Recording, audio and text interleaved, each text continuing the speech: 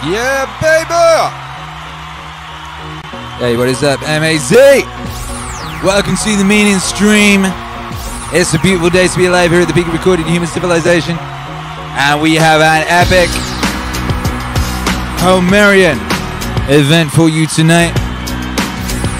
We will be live scoring Jordan B. Peterson's biblical series tonight live. If you want to skip ahead to the live performance, if you want to skip ahead to that, there will be a timestamp in the description. Otherwise, strap yourself in, baby. We going deep.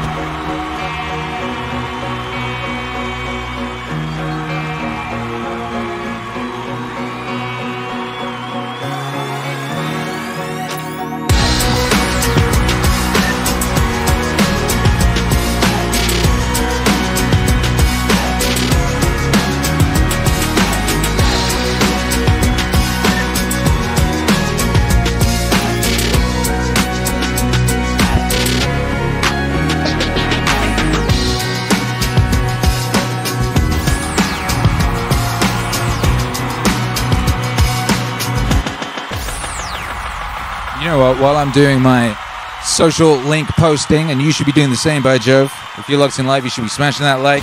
You should be posting that link. You should be ringing your mum, going, "Hey, hey, hey, mum, mum, mum, mum! Emergency, emergency! Akira the Don is about to live score the biblical lectures part. Which one is it? I think he's doing Genesis. I think he's doing Genesis, mum. Mum, quick! Oh, and he's gonna play the new single, "Aim, Live in the Day." Mum, quick, quick, quick! Let's have this beautiful shared experience. Come on. Therefore, take no thought for the morrow, for the morrow shall take thought for the things of itself. Sufficient unto the day is the evil thereof. I spent a long time trying to figure out what that meant too, because it's another one of those lines that can easily be read as pro grasshopper and anti ant. Remember the old fable of the grasshopper and the ant? Maybe not. I'm not going to tell it. But the ant works and the grasshopper fiddles. The ant has a pretty good time in the winter and the grasshopper dies. And so this is like a pro grasshopper line, but it's not. It says something else. It says that if you orient yourself properly and then pay attention to what you do every day, that works. That works. That works. That works. And you can live in the day. You're a creature that has an aim. Makes every moment supercharged with meaning. Live in the day. You're a creature that has an aim. You have to have an aim. That makes every moment supercharged with meaning. The world shifts itself around your aim. You're a creature that has an aim. You have to have an aim in order to do something. You're an aiming creature. You look at a point and you move towards it. It's built right into you. And so you have an aim. Well, let's say your aim is the highest possible aim. That sets up the world around you. It organizes all of your perception, what you see and you don't see, your emotions and your motivation. So you organize yourself around that aim, and then what happens? The day manifests itself as a set of challenges and problems, and if you solve them properly, you stay on the pathway towards that aim, and you can concentrate on the day. And so that way, you get to have your cake and eat it too. Because you can point into the distance, the far distance, point into the distance, the far distance, and you can live in the day.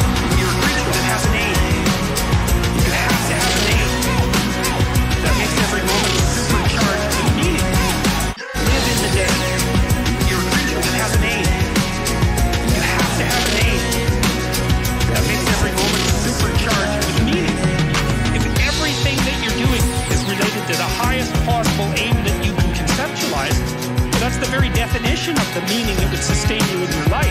Well, and then the issue is back to Noah. Well, all hell's about to break loose and chaos is coming. It's like when that's happening in your life, you might want to be doing something that you regard as truly worthwhile. Because that's what will keep you afloat when everything is flooded. And I want to wait until the flood comes start doing that. Because if your ark's half built and you don't know how to captain it, the probability is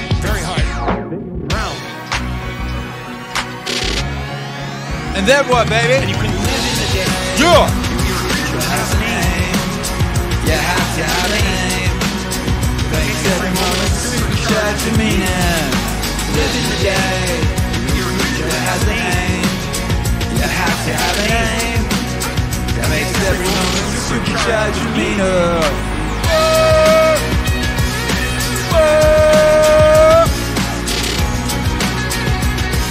Welcome, brothers and sisters.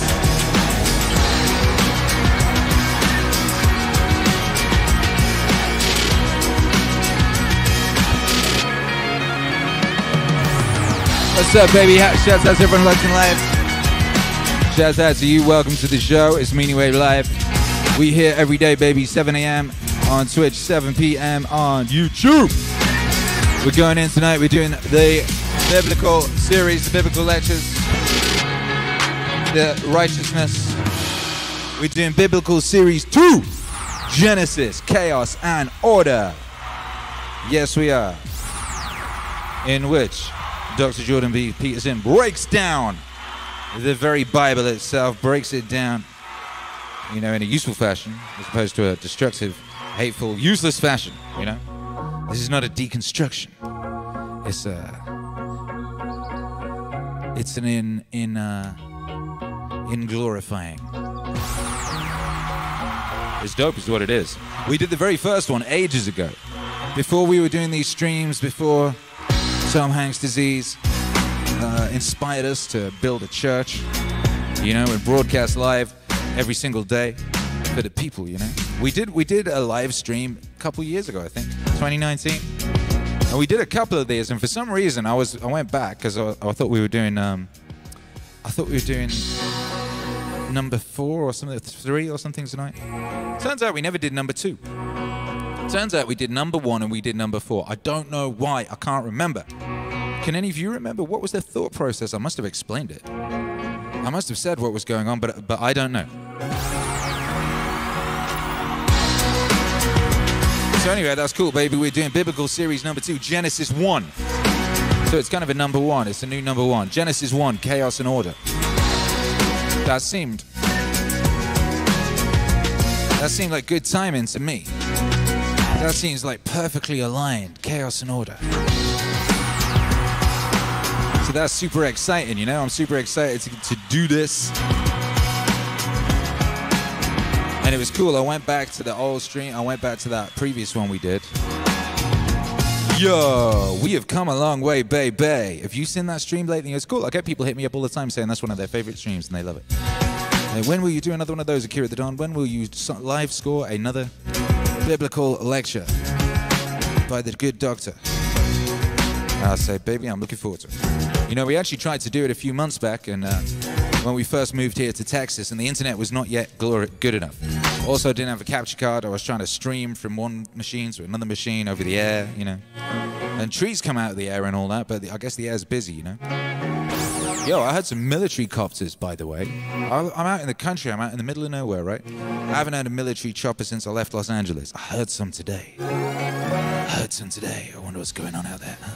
Something's going on. Can you feel it? Vibes is powerful out there, baby. Shouts out to everybody locked in. We are about to go in. There's not going to be much preamble today. We're going to get in. We're going to get in there. We're going to get after it. It's an epic endeavor.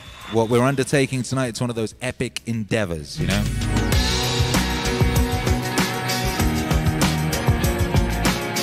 I gotta let you a few, know a few things though. I gotta let you know we've got a new music video dropping.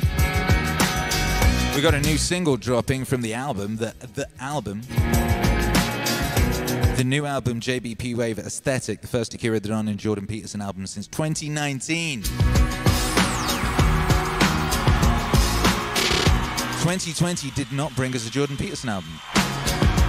It also didn't bring us Jordan Peterson because he was busy fixing his immediate domain that needed fixing, i.e., himself, you know? With the help of his beloved family. But it wasn't like I was deliberately and overtly, consciously kind of like doing that. It's very strange. Everything, you know. And like I don't know, I've mentioned, you know, I started working on the, this new album that's about to come out, and within a few days of working on it, Dr. Peterson returned. You know, he had his his return video, and I didn't know, you know. Sometimes things are just aligned. You know, when you're deep in that meaningful zone.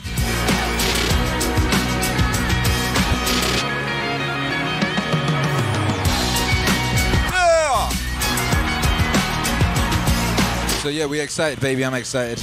We're excited to get after it. We're about to get after it. Before we get after it, I gotta know a thing. I gotta know something for the international high five, of course.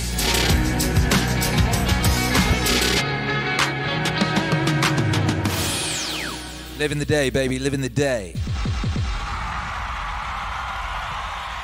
You're a creature without an aim. You have to have an aim. Tell me, tell me one of your aims this year. I feel it's still Happy New Year season. You know, it's like it's early in the year. Let's not get too like, oh, okay. Let's let's keep keep those vibes about. As I say, Happy New Year, baby. What is your aim? What you aiming at?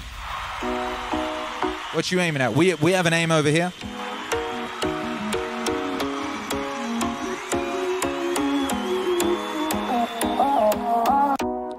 We have an aim over here.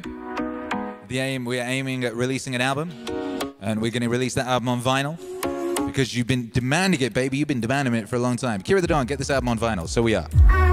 Album's coming on vinyl along with the classic JBP Wave Genesis because you've been asking for that. Yeah. So that's in itself just deeply exciting. We've already crushed a number of our stretch goals, which means that the album is going to be very deluxe. It's going to be a double gatefold. Each of these albums is a double album with a gatefold, a lyric book insert, so you can read the powerful lyricists by, some might say, the finest lyricist of the 21st century. Some might say, I have heard it mentioned. Lyric book, colored vinyl, double, beautiful. Other other things are being worked on to make the package extra sauce. Captain Jack is hard at work on sourcing it up. Meanwhile, we have our, our new aim for this, this our next aim for this campaign is to use this as an opportunity to get those early mixes that everybody loves so much and is always saying, please, Akira the Don, how couldn't you, couldn't you put them on Spotify? I say, of course not. They're full of unclearable samples and a lot of the beats were made by other people. They're, then they're not albums, they're mixes. It's a different thing. However, we have been turning some of those mixes into albums. We did it uh, last year with the, with Alan Watts and Watts Wave 2, the mix, the beloved mix turned into what is now a lot of people's favorite album. How to be a better person. So we're currently aiming at getting JBP Wave 3 turned into an album at 29k. I should have written that there. I didn't write 29k. I think it's written down there. Yeah, 29k. We're aiming at 29k. At which point I'll be able to hire mixing engineer, mastering engineer, musicians, and fast track getting that done. Fast track getting it done this year. This year. We're actually aiming at, and there's a bunch of these. There's three, four, five, and six, which would be wonderful to get done, of course. But right now we're aiming at three, baby. Three. And where are we? 26715. We're aiming at 29. Let's see where we are. Refresh! Whoa!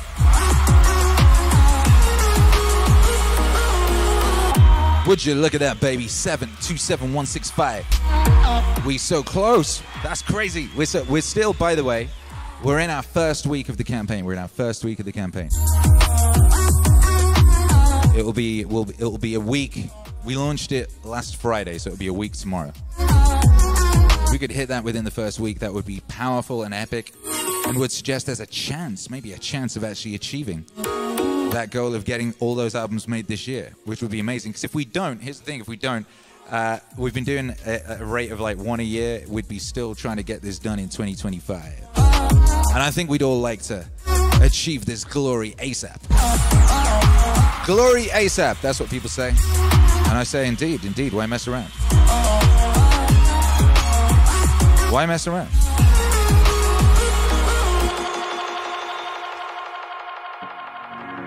So back the campaign today because you want JBP Wave to exist on vinyl. I know you do. You want JBP Wave to exist on vinyl. You want the epic JBP Wave monolith, which is only available as part of this package. Uh, you also want the uh, Alan Watts vinyl, which is only available as part of this package. There's a few left from the previous campaign. What nine? Nine monolith and vinyl packages there, and uh, and what we got here? How many of these? Uh, 12. 12 remaining complete Meaning Wave vinyl sets. Bloody hell. So you be- better get in quick, baby. You better get in quick. Meanwhile, let's look at the chat and see the international high five uh, answers. Let's see what people are aiming at.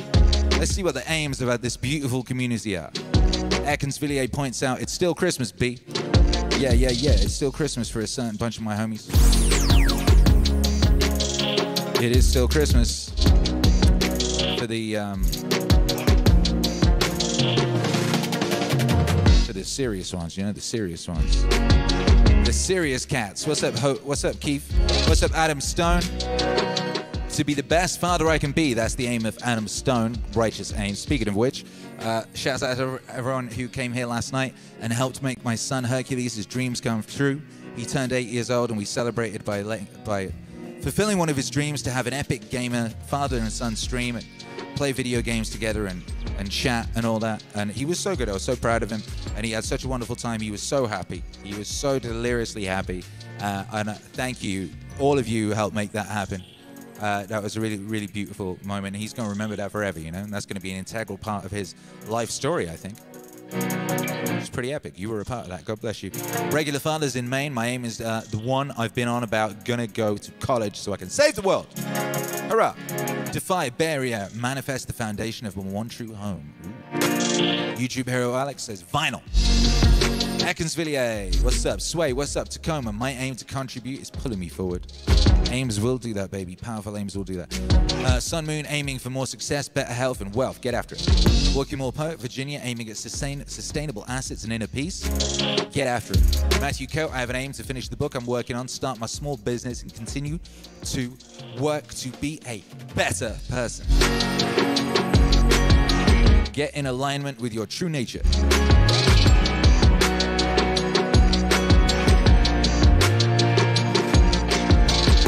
Reveal what's really there, you know.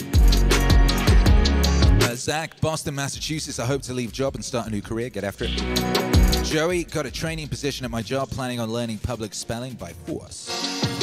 Force. Robert Easy, Chicago. My aim is to maintain epic activities, being of more service to people and my family. Truth and justice. Alexander, new aim, get more discipline, lose weight, get after it. Ekans Villiers says, I believe in all of you. Nice. John McGarvey, aim to aim. Aim to aim. Uh, Florent P, I don't believe. Michael in Seattle, my aim is to become the best possible version of myself. Get after it, baby. Reveal the truth. Reveal the truth of you.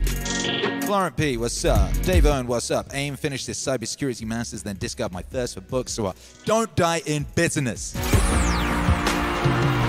But in cheerfulness and truth.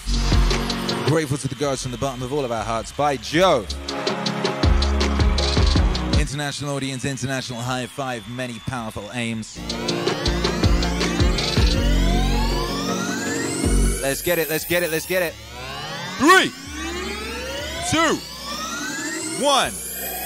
High five.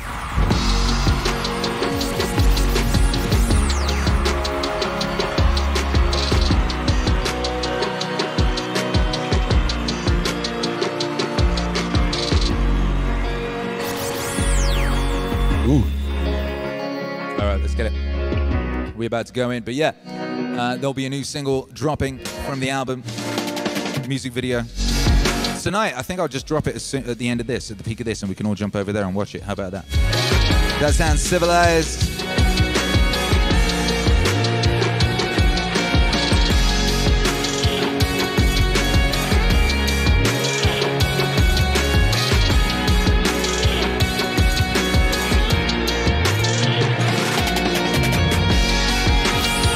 Excuse me.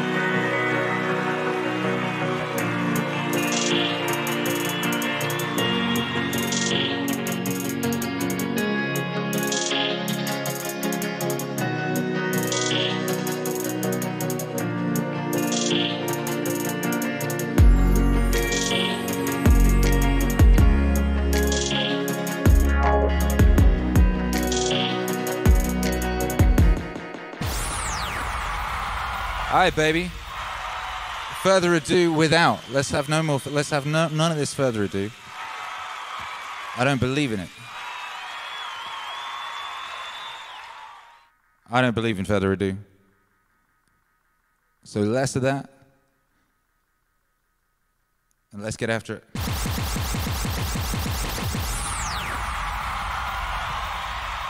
Guy doing above my head. That was so strange. I still don't know why that's happening, you know. If you're listening, you, you don't see there's a beautiful visual aspect to this whole thing. However, ooh, also, uh, I need moving. Let me move myself. We ready, you know?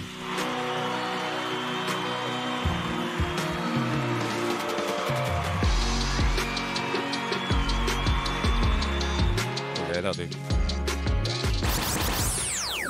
All right, boom. Anyway, Autonomous Zone, make some noise. I'd like to bring to the stage your friend of mine, the good doctor himself, live from across space and time. Okay, well, I thought this time that I would actually cover some of the biblical stories.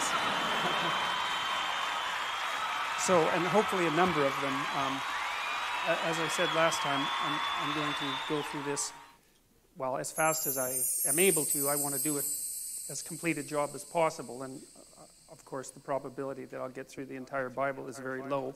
But we'll get through a lot of the major stories in the beginning of it, and that's a good start. And then, you know, assuming that this all goes well, then maybe I'll try to do the same thing again, either in the fall or next year.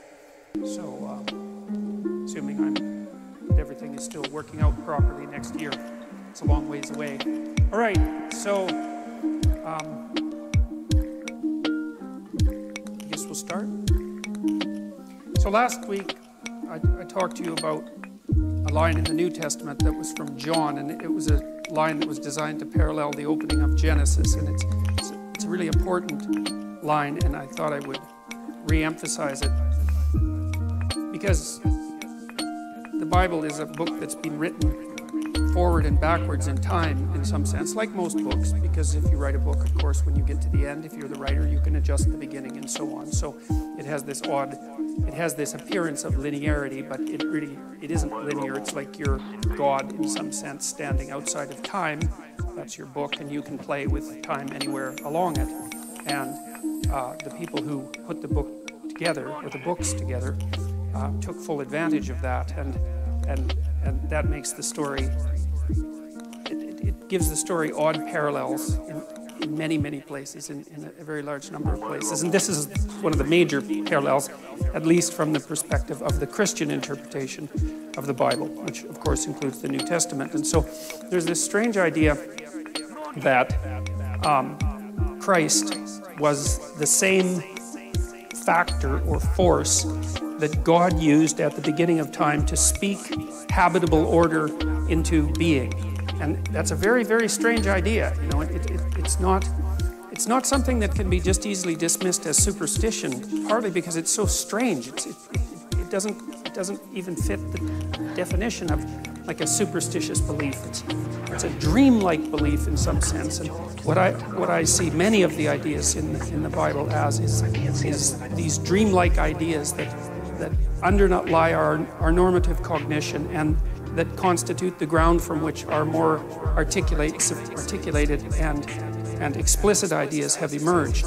And this one's so complicated, this idea is so complicated that it's still mostly embedded in dreamlike form, but it seems to have something to do with the primacy of consciousness. And this is one of the biggest issues regarding the structure of reality, as far as I can tell, because everyone from physicists to neurobiologists debates this. There's, there's the, the, the stumbling block for a purely objective view of the world seems to me to be consciousness. And consciousness has all sorts of strange properties. For example, it isn't obvious what constitutes time, or at least duration, in the absence of consciousness. And it isn't also easy to understand what constitutes being in the absence of consciousness, because it seems to be the case. Well, if a movie is running and there's no one to watch it, I know it sounds like the tree in the forest idea, but it's, it's, it's not that idea at all. If, if a movie is watching is running and no one's watching it, in what sense is can you say that there's even a movie running? Because the movie seems to be the experience of the movie,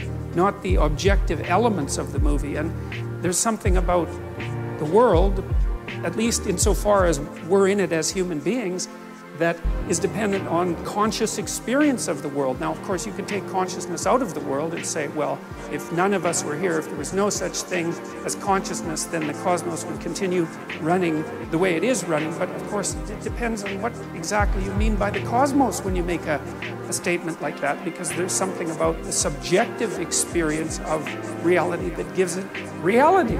Or at least that's one way of looking at it. And since we're all pretty enamored of our own consciousnesses, although they're painful because they define our being, it's not unreasonable to give consciousness a kind of metaphysical primacy. Now, and it's deeper than that, you know, it's deeper idea than that because there are physicists, and they're not trivial physicists like, like John Wheeler, who believes that in some sense consciousness plays a constitutive role in transforming the chaotic potential of being into the actuality of being. He, he actually thinks about it, he's not alive anymore, but he actually thought about it as, as playing a constitutive role. You know? And then from the neurobiological perspective, or from the scientific perspective, it's like consciousness is not something we understand. I don't think we understand it at all. It's something we can't get a handle on with our fundamental materialist philosophy. And I don't know why that is. It's quite frustrating if you're a scientist, but it isn't clear to me that we've made any progress whatsoever in understanding consciousness, even though,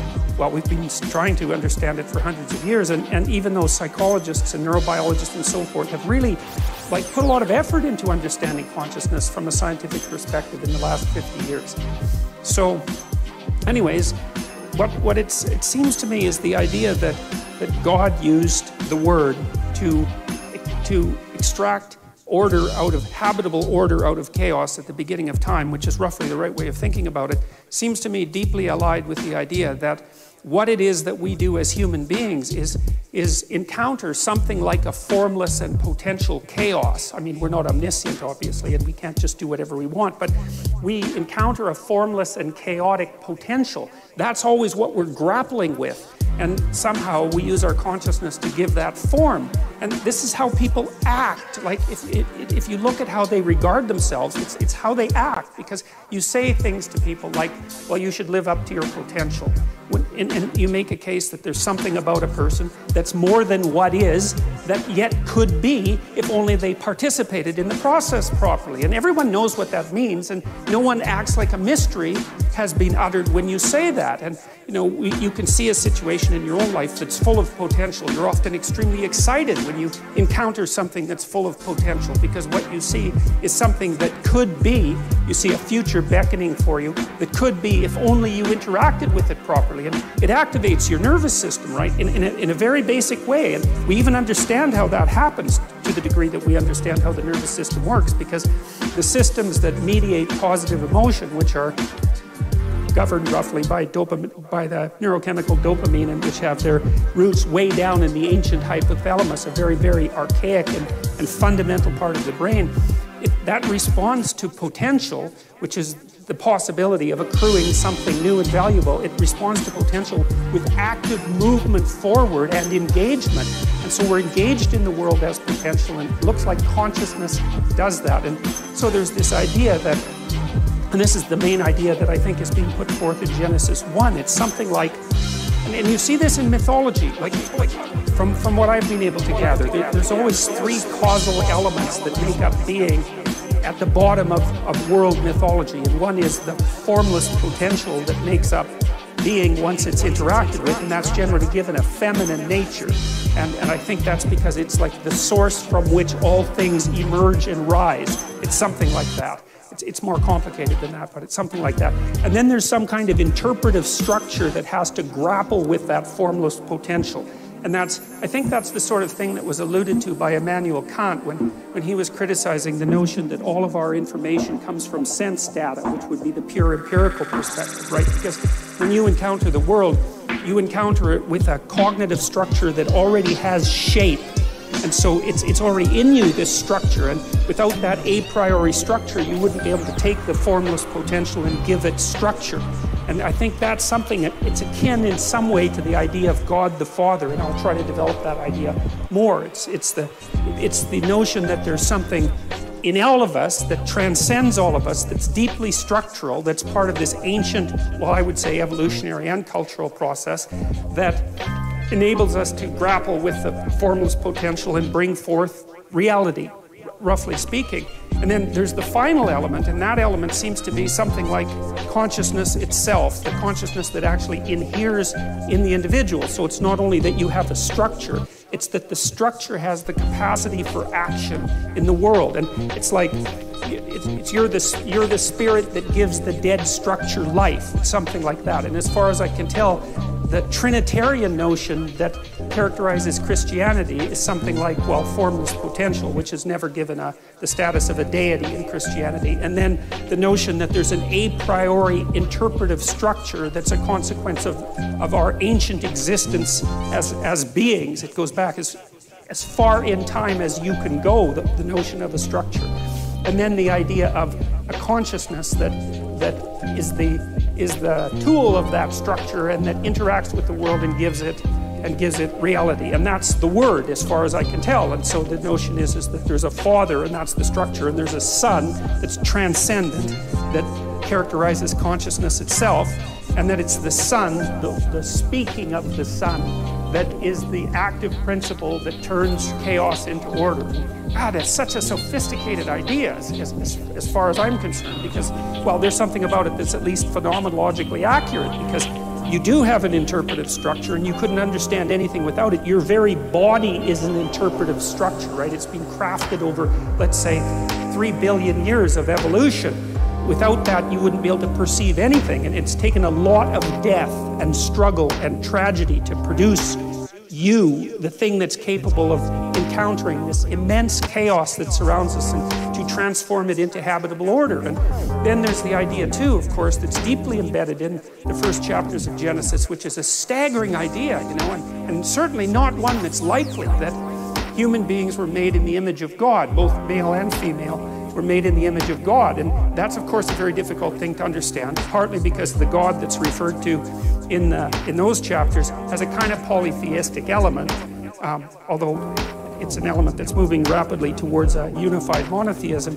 But it's not also obvious to me why people would come up with that concept, because I don't really think that when we think about each other, we immediately think God-like you know, the, the, notion that every single human being, regardless of their peculiarities and strangenesses and sins and crimes and all of that, has something divine in them that needs to be regarded with respect and that plays an integral role, at least an, analog an analogous role, in the creation of habitable order out of chaos. That's a magnificent, remarkable, crazy idea. And yet, we developed it, and I do firmly believe that it sits at the base of our legal system. I think it is the cornerstone of our legal system. That's the, the notion that everyone is equal before God, which is, of course, a completely, that's such a strange idea. It's very difficult to understand how anybody could have ever come up with that idea because the manifold differences between people are so so obvious and so evident that you could say the natural way of viewing someone is or, or, human beings is in this extremely hierarchical manner where some people are contemptible and and and easily brushed off as as pointless and pathological and and without value whatsoever and all the power accrues to a certain tiny you know aristocratic minority at the top. But if you look at the way that the idea of the in individual sovereignty developed, it's clear that it unfolded over thousands and perhaps ten thousands of years before it became something firmly fixed in the imagination that each individual had something of transcendent value about them. And man, I tell you, we dispense with that idea at our serious peril. And so, and if you're going to take that idea seriously, then, which you do because you act it out, because otherwise you wouldn't be law abiding citizens, right? You act that idea out. It's it's, it's, it's firmly shared by, by everyone who, who acts in a civilized manner. The question is, why in the world do you believe it, assuming that you believe what you act out, which I think is a really good way of fundamentally defining belief. So, all right, so so that's the sort of idea is that there's this, this God of tradition and structure. That's, that's God the Father who uses the Son, which is more of an active force, and, and, and primarily something that's verbal, which I also think is extremely interesting because it's associated not with thought precisely, but with speech. And I think the reason for that is, is that there's something to speech that's more than mere thought. And I think part of the reason for that is that speech is a public utterance. And at least in, in principle, speech is something that's shaped by the existence of, of everywhere of everyone else, at least across time. Because when you speak, you, you, your speech is, is put forward in the world as a causal element, and it's also subject to criticism and, and, uh, and cooperation and, and mutual shaping. And so there's an idea here too that speech is that, that the cognitive processes that bring habitable reality out of out of uninhabitable chaos have this collective and public element which which is part of the reason, by the way, that I'm an advocate of free speech, let's say above all, because I, I don't think, although it is the case, for example, in the Canadian Bill of Rights, that every single right has equal value. That's the theory. It's an idiotic theory because it's absolutely impossible for a large set of rights to have absolutely equal standards, stances. That cannot happen. There's no way that that can ever work. But that is the legal judgment. But I think it's a huge mistake because free speech has this, well, this divine quality, let's say, that you can't escape from because it's the thing that manufactures everything else. You know, it's, and so, and I do think that the, the, the dream that you could think of as encapsulated in the stories in Genesis is, is the dream by which human beings dreamed up the idea that we would now consider consciousness. Because, you know, it took us a long time to figure out the word consciousness. It's not like it's bloody obvious. It, who knows how many thousands of years or, or, or who knows what struggles we had to undertake to abstract out something like consciousness and how we had to represent that dramatically, say, or symbolically, or in a dreamlike fashion before we could actually formulate the term and, and localize that to some degree in people. It's very sophisticated. So, so John makes the case that, well, there's, there's an emanation of God or an element of God the, the transcendent consciousness, it's something like that, that acts directly and in, in a sort of living way with the, with the underlying potential of the world. And I think that that's phenomenologically accurate, and I do think that that's the way we regard our lives. Because, you know, when you think about it too, we tend to think that what you encounter when you're looking at the world is the material world, but that isn't how you act you do act as if you're in a place of potential and also in a place of potential that you can actually transform, which is also something extraordinarily strange, you know, because we do treat each other as if we're capable of bringing new forms into the world in some permanent manner, right? And, and we treat each other as if we have free choice and free will, and perhaps we don't, but it's certainly the case that societies that are predicated on the idea that we don't, don't do very well. And societies that are predicated on the idea that we do seem to do a lot better.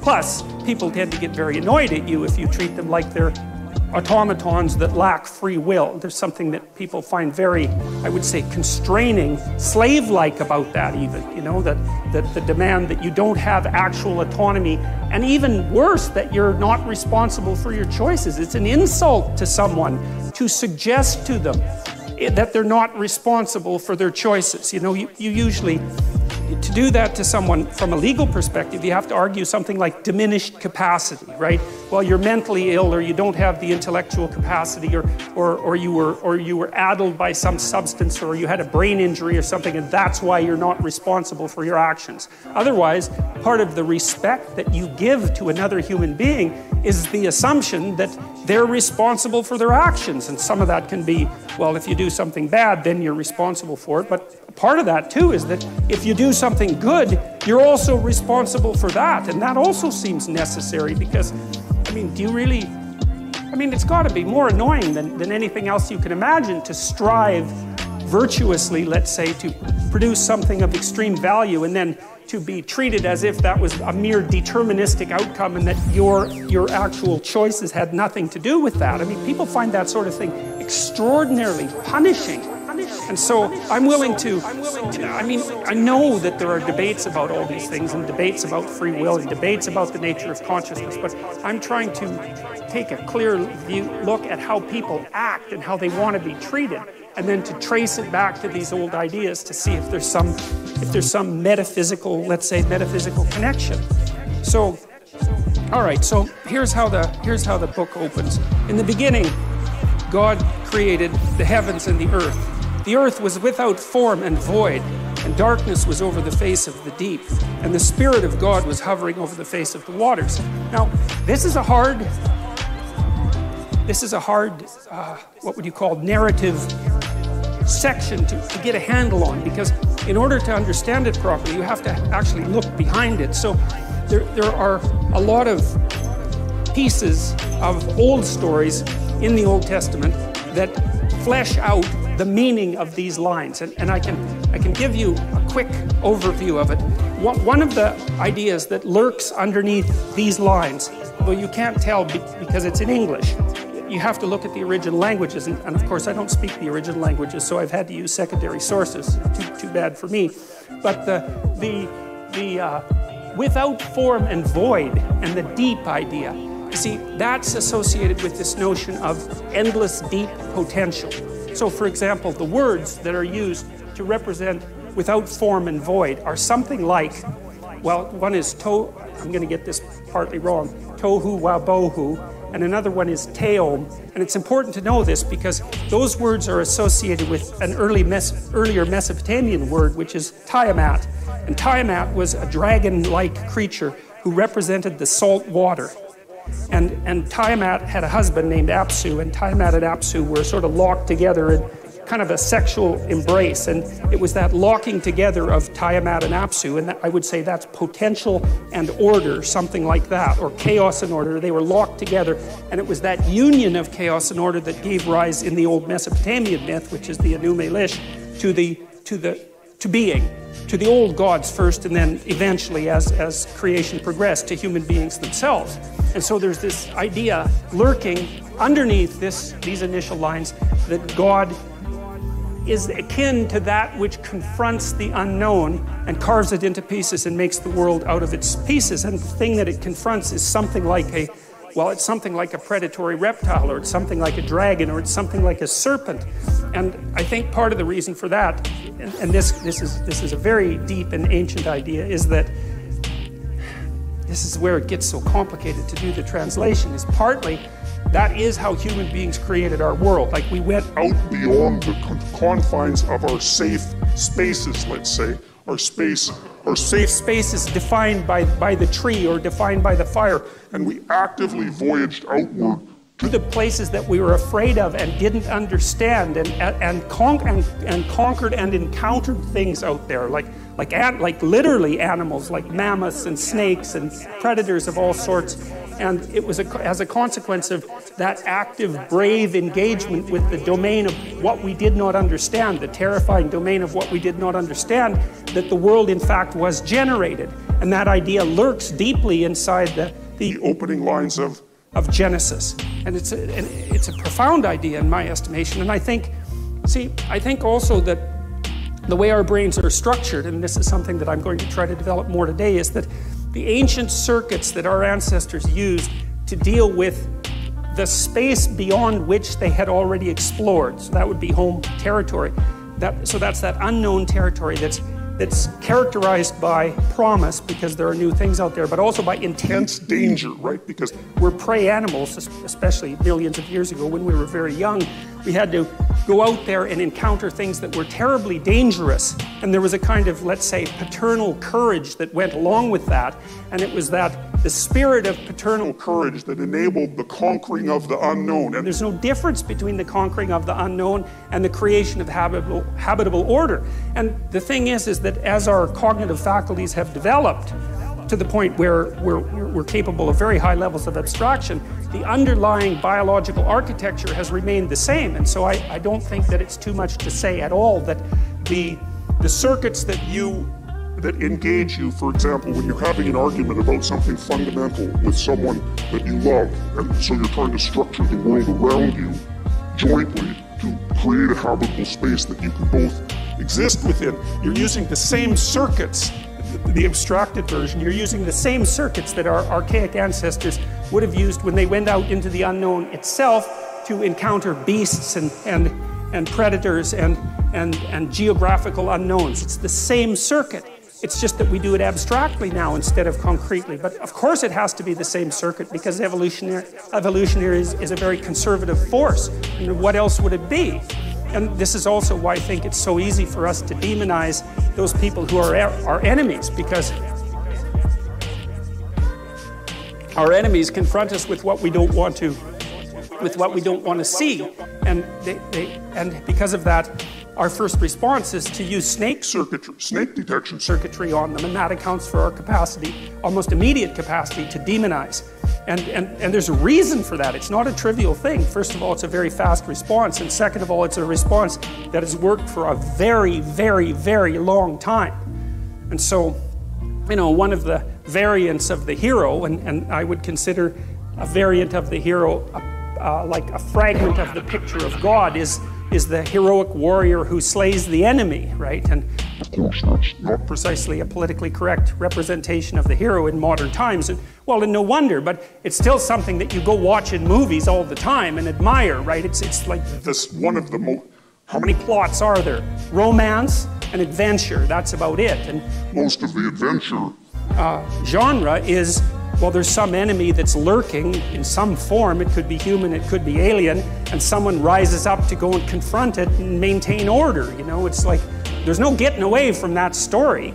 And, and if you don't have that in your own life, then you, you play a video game where that's happening, or you watch a movie where that's happening, or you read a book where that's happening, and it captures you, even if you're atheistic and your only religion is Star Wars, you know?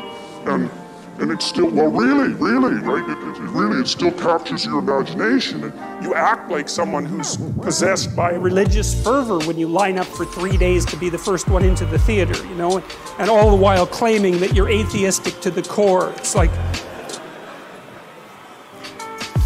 okay, so this this without form and void is this chaotic. A, it's a hard thing to it's a hard thing to get a grip on, you know, what exactly this means. But I can give you a, another kind of example of how you would experience the formless chaos of potential in your own lives, and, and even how the order that you currently inhabit can dissolve into that. And you know, in Dante's um, Inferno, when he outlined the levels of hell, so Dante was trying to get to the bottom of what constituted evil, really, in, in, in this. representation. It's a work of psychology, and he was thinking, well, there, there are various ways. to behave reprehensibly, but there's a hierarchy of re- reprehensible behavior, and there's something absolutely. The worst at the bottom. And And, and Dante believed that it was betrayal. And, and I think that's right, because, you know, one of the things that enables uh, long term cooperation, peaceful cooperation between people is trust. And I would also say that trust is the fundamental natural resource. Uh, there's been some very good books written on the economic utility of trust, for example, and societies where the default economic presupposition between trading partners is trust tend to be rich even if they don't have any natural resources. And you can see that, for example, with what happened with eBay, which I think was a kind of miracle because what should have happened with eBay was that you sent me junk and I sent you a check that bounced, right? And, and that was the end of eBay. But Right, right, exactly. But that isn't what happened. Like the default, the default transaction on eBay was so honest that the brokers, you could hire brokers to begin with. I, I can't remember what they were called exactly, but you could pay someone a fee so that they would guarantee the transaction. So, you know, you wouldn't send me junk and I'd actually send you a payment and we'd pay 10% for someone to guarantee that. The default trade was so honest that those things vanished right away. And so that meant that all this frozen capital, roughly speaking, which were all the junk that people had lying around that someone else might want, instantly became money. And the only reason that worked was because people trusted one another. And so trust is, is, is an unbelievably powerful economic force, maybe the most powerful economic force. Anyways, if you have a relationship with someone, it's predicated on trust. And part of the reason for that is that trust is what enables us to look at each other without running away screaming. And what I mean by that is that if I trust you, then I don't have to take into account how complicated you are because you're horribly complicated. You know, I think snakes, that's what a human being is. And, and as long as you'll do what you say you'll do, then I can take you at your word, and your word simplifies you. And you can take me at my word, and my word simplifies you, and then we can act like we understand each other, even though we don't. But then, if that trust is betrayed, then all the snakes come forth very, very rapidly. And so, you, you, all of you, I suspect, have been betrayed one way or another. And so, what happens if, if you're in a relationship with someone and you trust them, then you make certain assumptions about the past, and you make certain assumptions about the present, and you make certain assumptions about the future. And everything's stable, and so you're standing on solid ground. And, and the chaos, it's like you're standing on thin ice. The chaos is hidden. The, shark beneath the waves isn't there. You're, you're safe. You're in the lifeboat. But then if the person betrays you, like if you're in an intimate relationship and the person has an affair and you find out about it, then, then you think one moment you're one place, right? You're, you're where everything is secure, because you've predicated your perception of the world on the axiom of trust. And the next second, really, the next second, you're in a completely different place.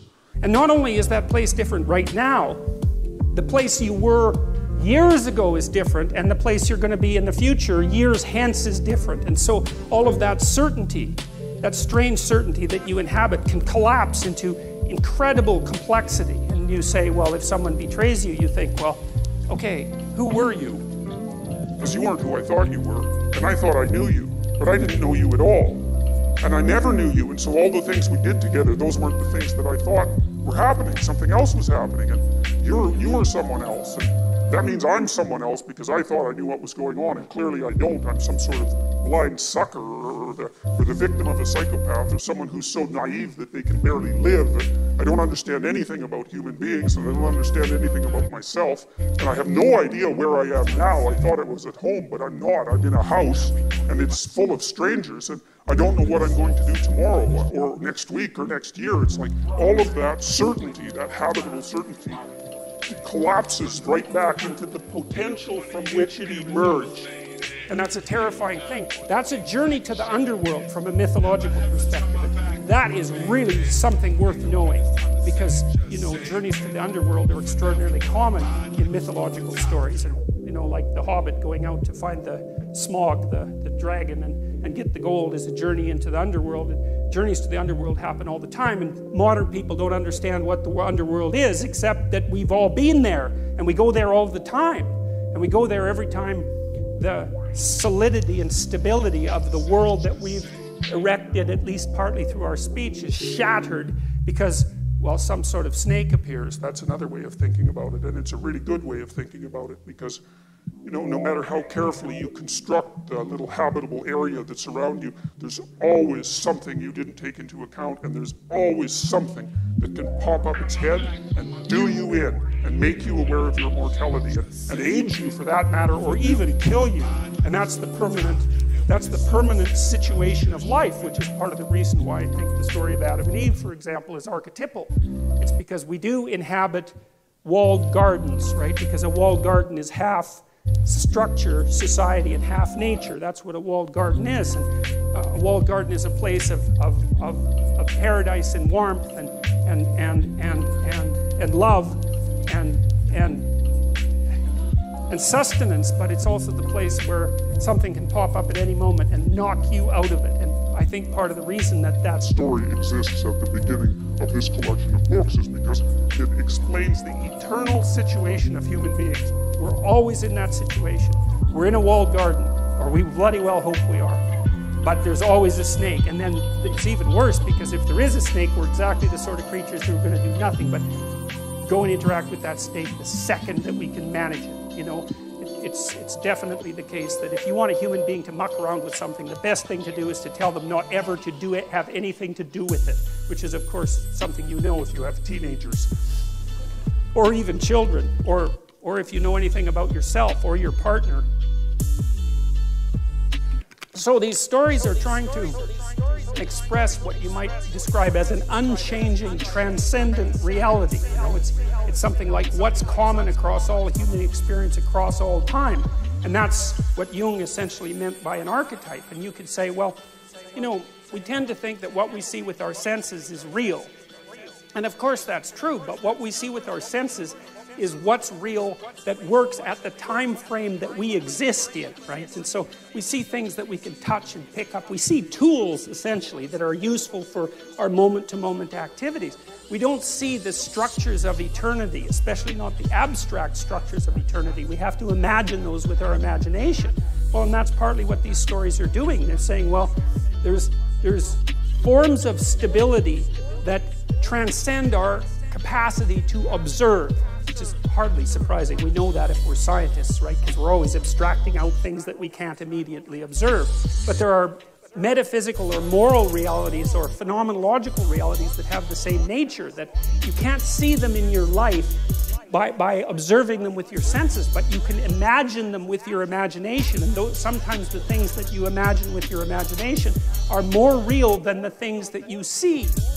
Numbers are like that, for example. I mean, there's, there's endless examples of that. And I would say, well, this is also a good way of thinking about fiction because a good work of fiction is more real than the stories from which it was derived. Otherwise, it has no staying power, right? It's distilled reality, even though in some sense it never happened. It's like, well, it depends on what you mean by happened. You know, it's, it's, it's, a, it's a pattern that repeats in many, many places with variation. You extract out the central pattern. It's, it's the pattern purely never existed in any specific form, but the fact that you've pulled a pattern out from all those exemplars means that you've extracted something real. And I think the reason that the, the uh, story of Adam and Eve, which we'll talk about in quite a bit of detail today, has, has been immune to being forgotten is because it says things about the nature of the human condition that are always true. I can give you another brief example. You know, like, people have a lot of guilt. You know, there, there's a line of social psychology that claims that most people feel that they're better than other people. And like, I just don't buy that. That isn't what I've seen in my life. And maybe it's I'm a bit biased because I'm a clinical psychologist and I see more people who are overtly suffering, maybe, than people do in general. Although I'm not so sure about that, you know, because you don't have to scratch very far beneath the surface of most people's lives before you find something truly tragic. And, I don't mean the sort of tragedy that, that you whine about. I mean, you know, your mother has Alzheimer's or, or your, your best friend committed suicide or you have a close relative with cancer, you have a sick child or, you know, there's something wrong with you because almost everyone has at least one really terrible thing wrong with them. And if you don't, hey, you will. So, you know. So, no, that, that, so, so that, that, that tragic sense of being is there with people all the time. And, and, and it's also the case that, that my, in my experience, like I rarely meet someone who says, hey, you know, I'm doing everything I possibly can. I'm a hell of a guy, and I can't see how I could possibly improve. You know, you, you meet you meet someone like that, you think they're narcissistic, right? And you're right.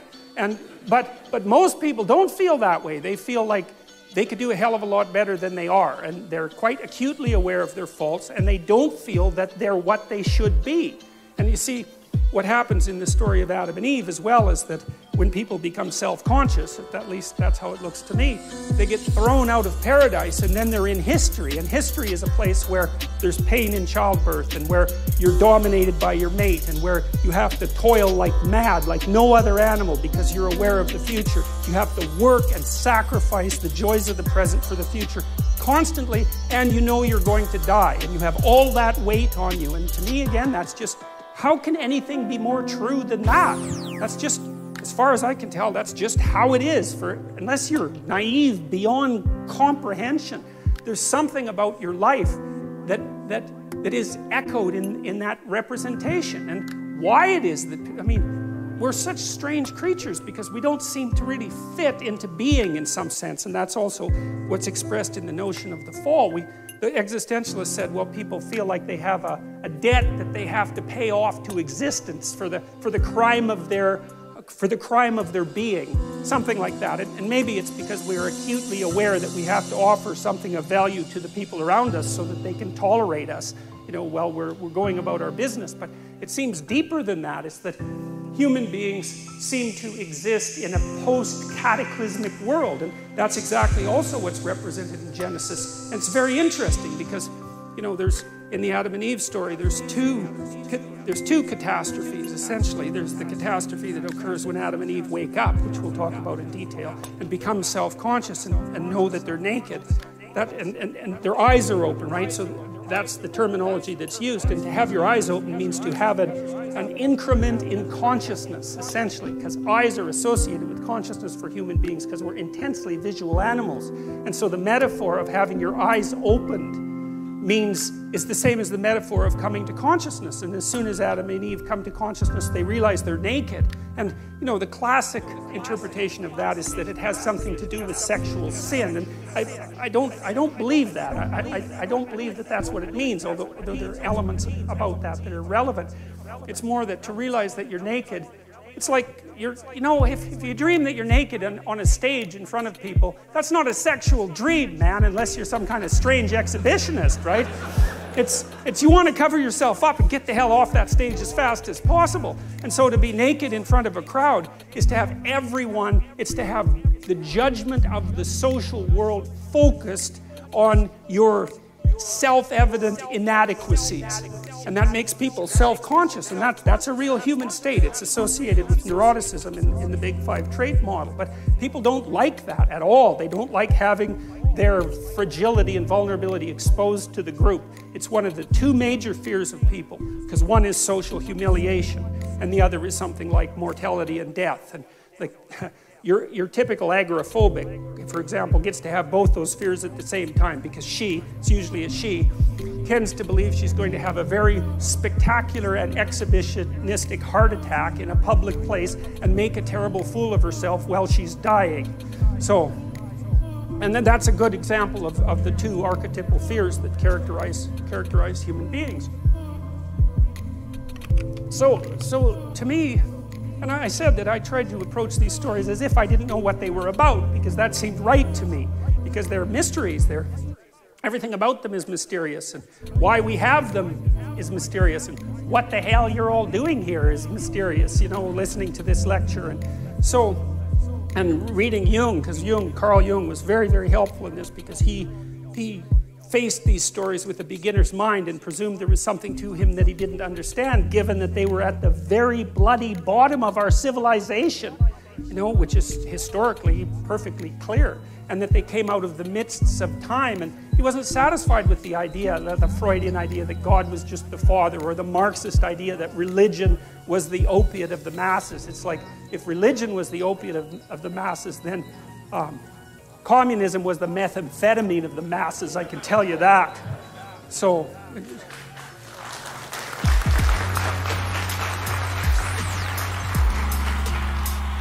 so you know, you've been betrayed by someone, and so you fall into that underworld of, of, of, doubt about everything. And it's a serious place to be in that underworld, eh? Because not only do you not know where you came from or who you are or where you're going, that's bad enough. So that's the underworld itself. But there's a subdivision of the underworld, like the worst suburb, which is, I think, what hell is essentially from a metaphysical perspective. Because, you know, if someone really cuts you off at the knees, especially if they do it in a malevolent way, and, and if you're going to be betrayed and you really want to be betrayed properly, you want to be betrayed by someone who's really out to hurt you. You know, they just weren't being stupid. They were like after you for whatever reason. And then that's also you plunge into that underworld space, and that's also when you start to nurse resentment and aggrievement and murder and homicide and even worse, you know, because if people are betrayed enough, they start they start to obsess about the utility of being itself and perhaps go to places that no one would ever want to go if they were in the right mind and to and to develop and nurse fantasies of the ultimate revenge and that's a horrible place to be and that's hell as far as I can tell and that's why hell has always been a suburb of the underworld, because if, if you get plunged into a situation that you don't understand and things are not good for you anymore, it's one step from being completely confused. It's only one step from being completely confused to being completely outraged and resentful, and then it's only one step from there to really looking for revenge. And that can take you places that well, that, that merely to imagine properly can be traumatic. And I've seen that happen with people many times. And I think that anybody who uses their imagination on themselves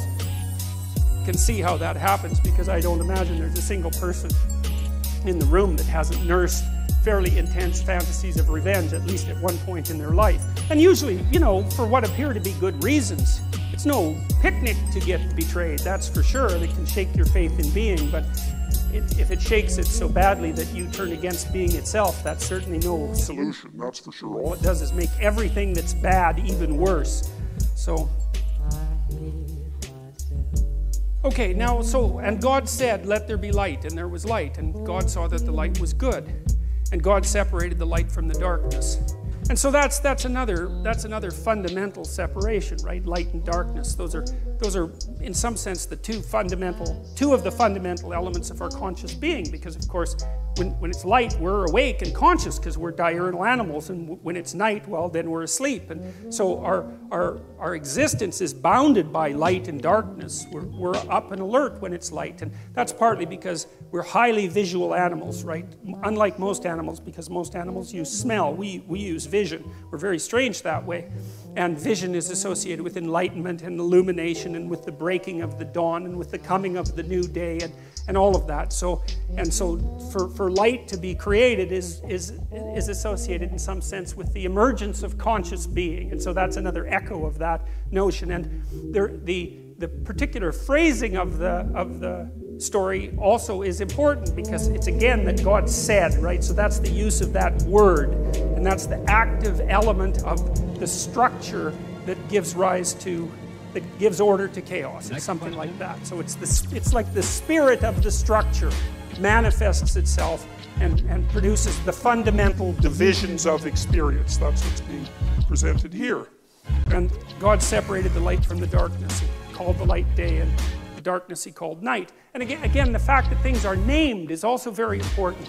So you see this later with Adam because God gives Adam the job of naming all the animals. And it's sort of like the animals don't actually exist in some sense till they're named.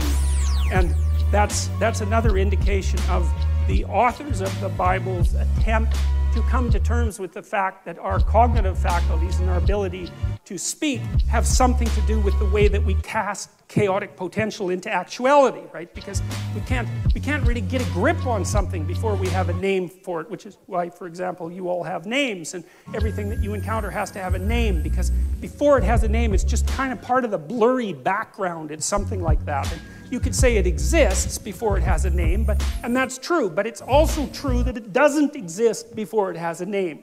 Because as soon as you give something a name, its nature changes and you've transformed it into something that's not so much mere potential anymore, but it's at least on its way to being actuality. It's on its way to being a tool. And so the, the act of naming is repeated continually in the first chapters of the Bible, and the reason for that is this continued emphasis on the importance of consciousness and conscious articulation and speech. You know, and speech is really something that does separate us in an important way from animals. You know, like we, we haven't got very far teaching animals how to speak. The best we've managed so far is some parrots, right? There's a gray African parrot. There was one of them that got up to about a four-year-old level, and that's mind-boggling because, like, how big is the brain of a parrot? It's like that big, and that bloody thing can talk, and so that shows you how much we know about brains.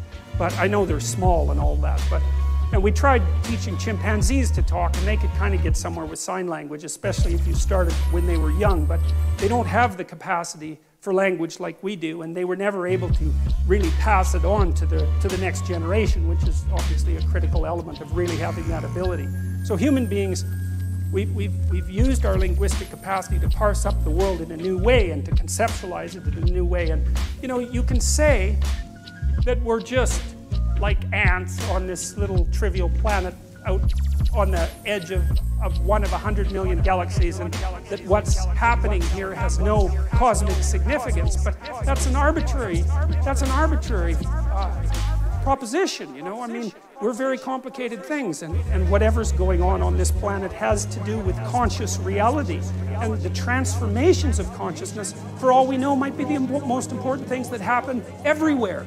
There, there's no reason to consider consciousness a trivial phenomenon. I mean, it's taken three and a half billion years for you to develop the brain that you've developed. And, and human beings are amazing creatures. I mean, just a casual walk through YouTube and all those crazy kids that climb cranes and do that. What's that? that yeah, parkour, man. That stuff's unbelievable, you know? I mean, human beings are crazy, crazy animals. There's almost nothing we can't do. And I'm very loath to assume that the transformations of consciousness that are described in the early, in the early stories in, in the biblical accounts are somehow cosmically trivial. It, doesn't strike me that way, and it's certainly not self-evident. And even if they are cosmically trivial, whatever that means. The rocks don't care what you think. Well, who cares what the rocks think? First, they don't think. So I don't see why that's exactly relevant. But even if, even if it's all the same to the cosmos, which is something that I doubt, it's certainly not just all the same to you, you know, because your consciousness has a quality and it matters. Heidegger, for example, who's, who's a philosopher who, who's writing sort of influenced me post hoc because I recreated some of the things that he had talked about in the 30s before I knew much about him. But one of the things that Heidegger said was that the fundamental element of human being, of human phenomenology, was care. He said that that's the basic essence of your being, is that you care about things. You know, and, that, and that's either negatively or positively, right? You, to not care about something or to hate it is still to be involved in care. And so, even if the cosmos itself is is neutral with regards to our existence. We're not, and we're the only things that we know of that are conscious, and so, well, we might as well go with that, and there's no reason. See, I can't help but think that the constant attempts by people to trivialize the nature of their own consciousness has a, has a dark side. I'm a, I'm a psychoanalyst, and so I always think that way. It's like, well, first of all, if, you're, if you as a being don't matter, then you don't have to do anything. It's a great justification for total lack of responsibility. And that, that really twigs something for me because, you know, people who are bent, let's say, or vengeful or angry are always looking for a reason why they don't have to be responsible for anything. Plus, it's a lot easier. And so the notion that consciousness is trivial immediately allows you to wander down that path. And so I'm skeptical of those claims. And I also think that there's a deep hatred of humanity that underlies those claims as well. And I read my YouTube comments sometimes, you know, and I've always been, I've always been annoyed that, you know, because I've heard like sort of radical, clueless environmentalists say things like the planet would be better off without people on it, which is something that, like, you just cannot say that. That if you say that and listen to yourself, you should like go to a monastery for like three years and never say a word and have a shower every 10 minutes until you've learned your lesson properly. You know, you can't utter a more genocidal phrase than that, you know. And of course, you always do it in, in, a, in a display of your care for the world. It's like, well, if we just didn't have any people, it's like, well, we'll just line them all up and shoot them with machine guns.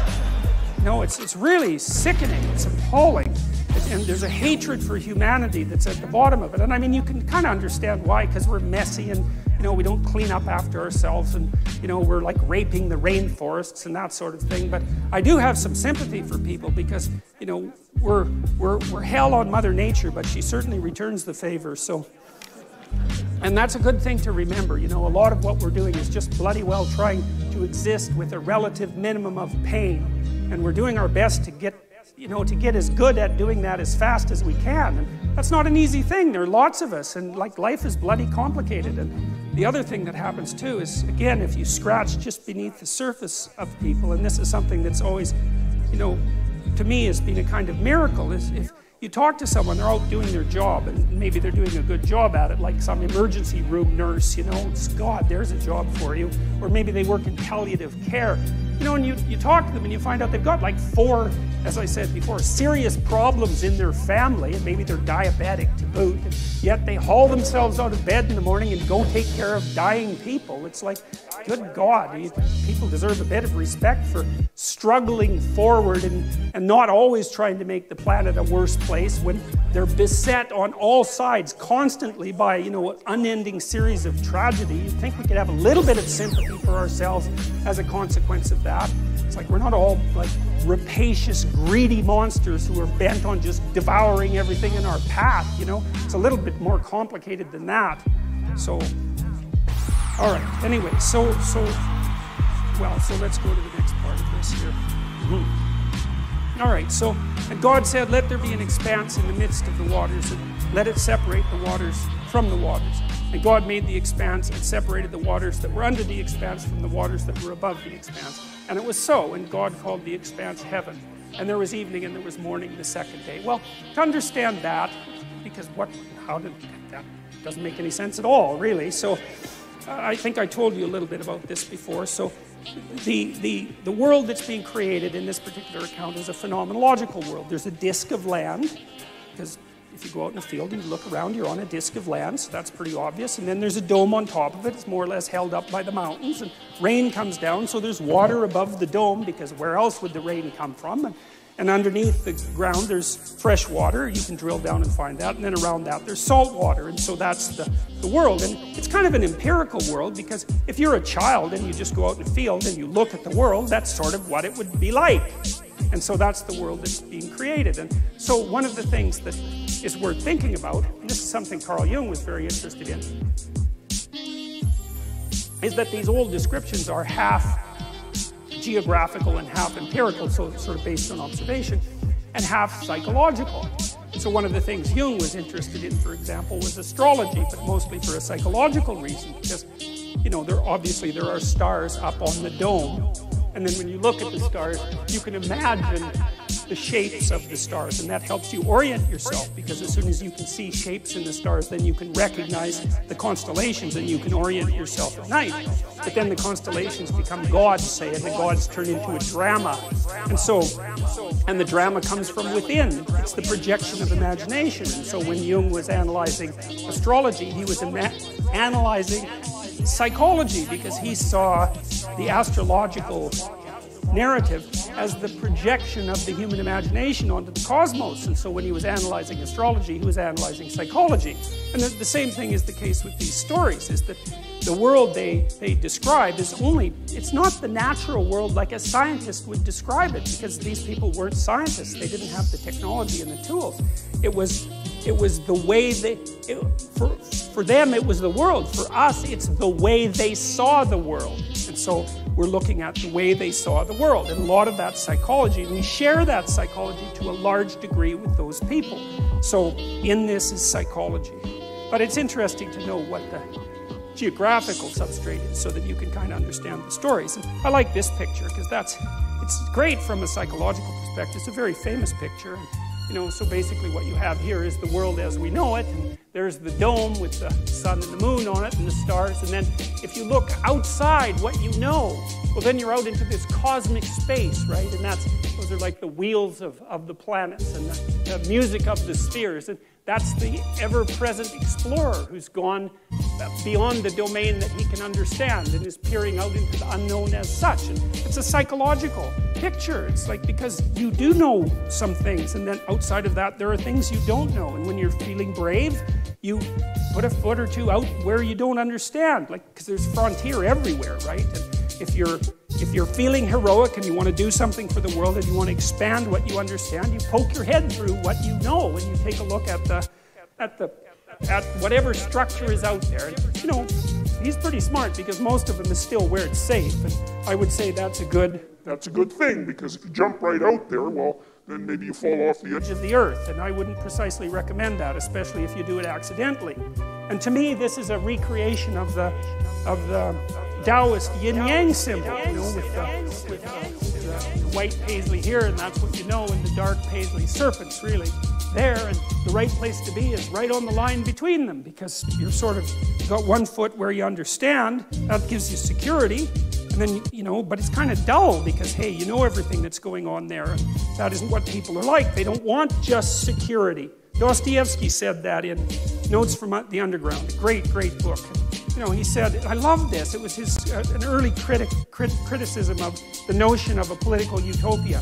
He said, look, if you gave people everything they wanted, they had nothing to eat but cake and nothing to do but sit in warm pools and busy themselves with the continuation of the species. That was his, his lines.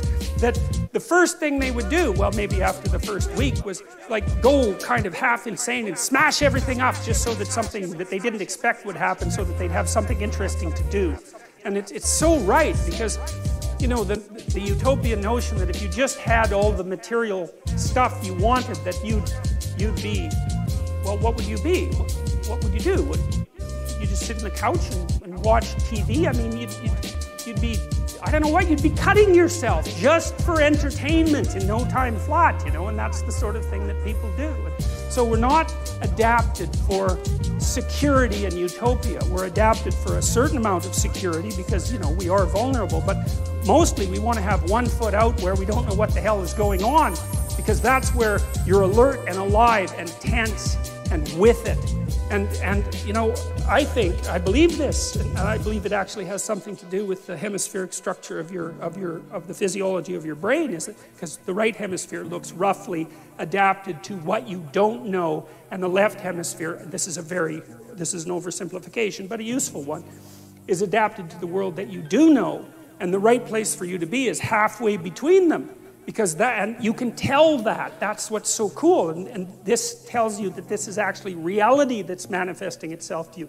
You know that sense of active engagement you have in the world when things are working well for you you know where you're where you should be at the right time. You're alert and on top of things and engaged and you don't have much of a sense of time and the sense of the tragedy of life sort of recedes and that's when you're that's when you've got one foot where it's where it's secure and one foot out in the unknown. And your brain signals to you that you're in the right place by making what you're doing meaningful.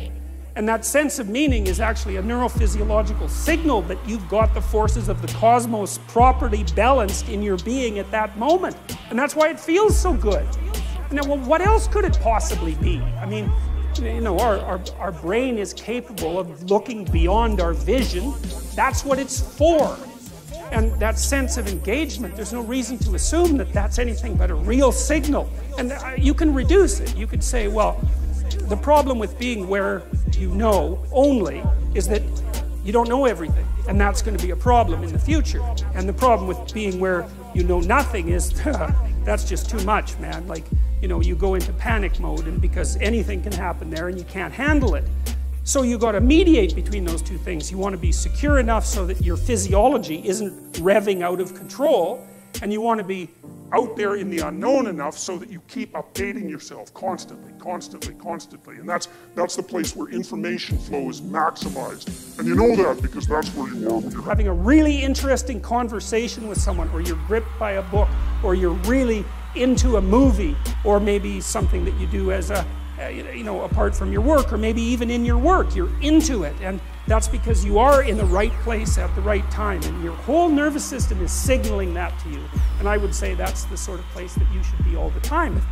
Of course you can't be because no one's perfect but it's that's that's the recreation of paradise on earth. It's something like it because you are in the right place at the right time when that is happening subject to certain what would you say, restrictions that, that we can talk about later. Well, that's what this guy's doing. And, and that's, I would say, akin to the action that God is taking when He's transforming the chaos of potential into habitable being. And it's the sort of thing that human beings are supposed to act out. And God said, Let the waters under heaven be gathered together into one place and let the dry land appear. And it was so. God called the dry land earth, and the waters that were gathered together he called seas. And God saw that it was good. Well, that's an interesting thing, too, because, you know, there's this, there's this play written by a German named Goethe. I, I can never say that properly. It's Johann van G O E T H E, and I can't say it. But he wrote this play called Faust, and, and he wrote one part of it when he was quite young, and then Faust 2 when he was quite old. And he has a character in there, Mephistopheles, and Mephistopheles is the devil. And he actually has the devil explain himself twice, basically using the same words, which, which I really like. It was very profound. And basically, Goethe's Mephistopheles says, you know, he's the adversary of the word. That's a good way of putting it. Um, because that's how it works out mythologically. He's the figure behind the snake in the Garden of Eden, which is something we'll talk about more. But he has a he has a sophisticated philosophy. He's not just some random troublemaker. He, has got a, he's got a deep philosophy, and his philosophy is quite straightforward. And it's compelling. It's compelling. And, and people are gripped by it quite often, more than they think. His philosophy is, well, look around at the world. It's like Ivan Karamazov in The Brothers Karamazov, when he's trying to disabuse his younger brother of being a, a, a Christian monk. Mephistopheles says, Well, look at the world. I mean, all you look around the world, it's nothing but a bloodbath. It's just suffering everywhere. Everything eats everything, and people die terribly, and, and they're cruel to one another, and the whole mess is nothing but a, constant hall of terrible carnage and, and ruin and, and, and, and, and, wreck. He says it, it would be better If it was never existed, at all. And that's a very interesting, that's a very, very interesting idea. And I do believe, and I've seen this in people many times, that in the depths of despair, especially when you've been betrayed, for example, and you wander into the wrong subdivision of the underworld, that's something that comes to mind. If you know you have a very sick child, for example, or maybe your whole family is suffering, as whole families do sometimes, an idea is going to come to you. It's like, good God, who put this mess together? And is it really worth it? Is it really worth the suffering? Suicidal people, you know, they say no. They say, no, enough of this. You know, and you have to be pushed a long way, generally speaking, before you'll actually commit suicide. You have to be in very, very desperate straits. But your answer under those conditions is that being is such that it would be better if it had never been.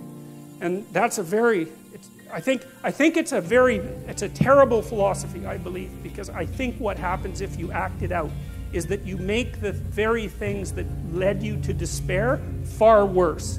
And I can't see that if it's reasonable to draw a logical conclusion that suffering should justifies your desire to make being end, that the answer to that can't be to produce more suffering. That just doesn't make sense.